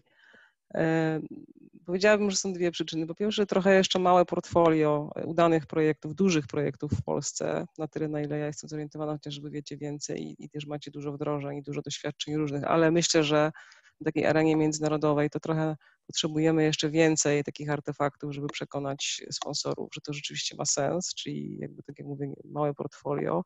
A po drugie, zdecydowanie, przynajmniej takie jest moje doświadczenie, mindset Mamy zupełnie inną mentalność, mamy inne przekonania co do zasadności i potrzeby wdrażania zmiany jakąkolwiek y, metodą, która uwzględnia aspekt ludzki.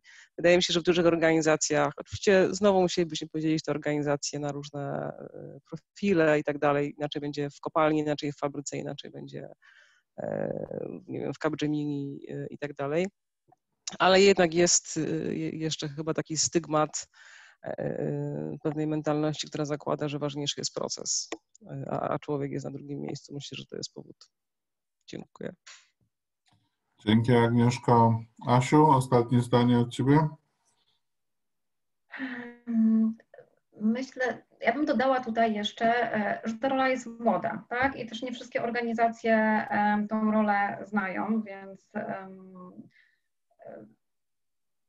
martwią się e, po wdrożeniu, tak, żeby ta zmiana e, była, mm, była przez użytkowników e, przyswojona i, i są przyzwyczajone do takiego stylu wdrażania.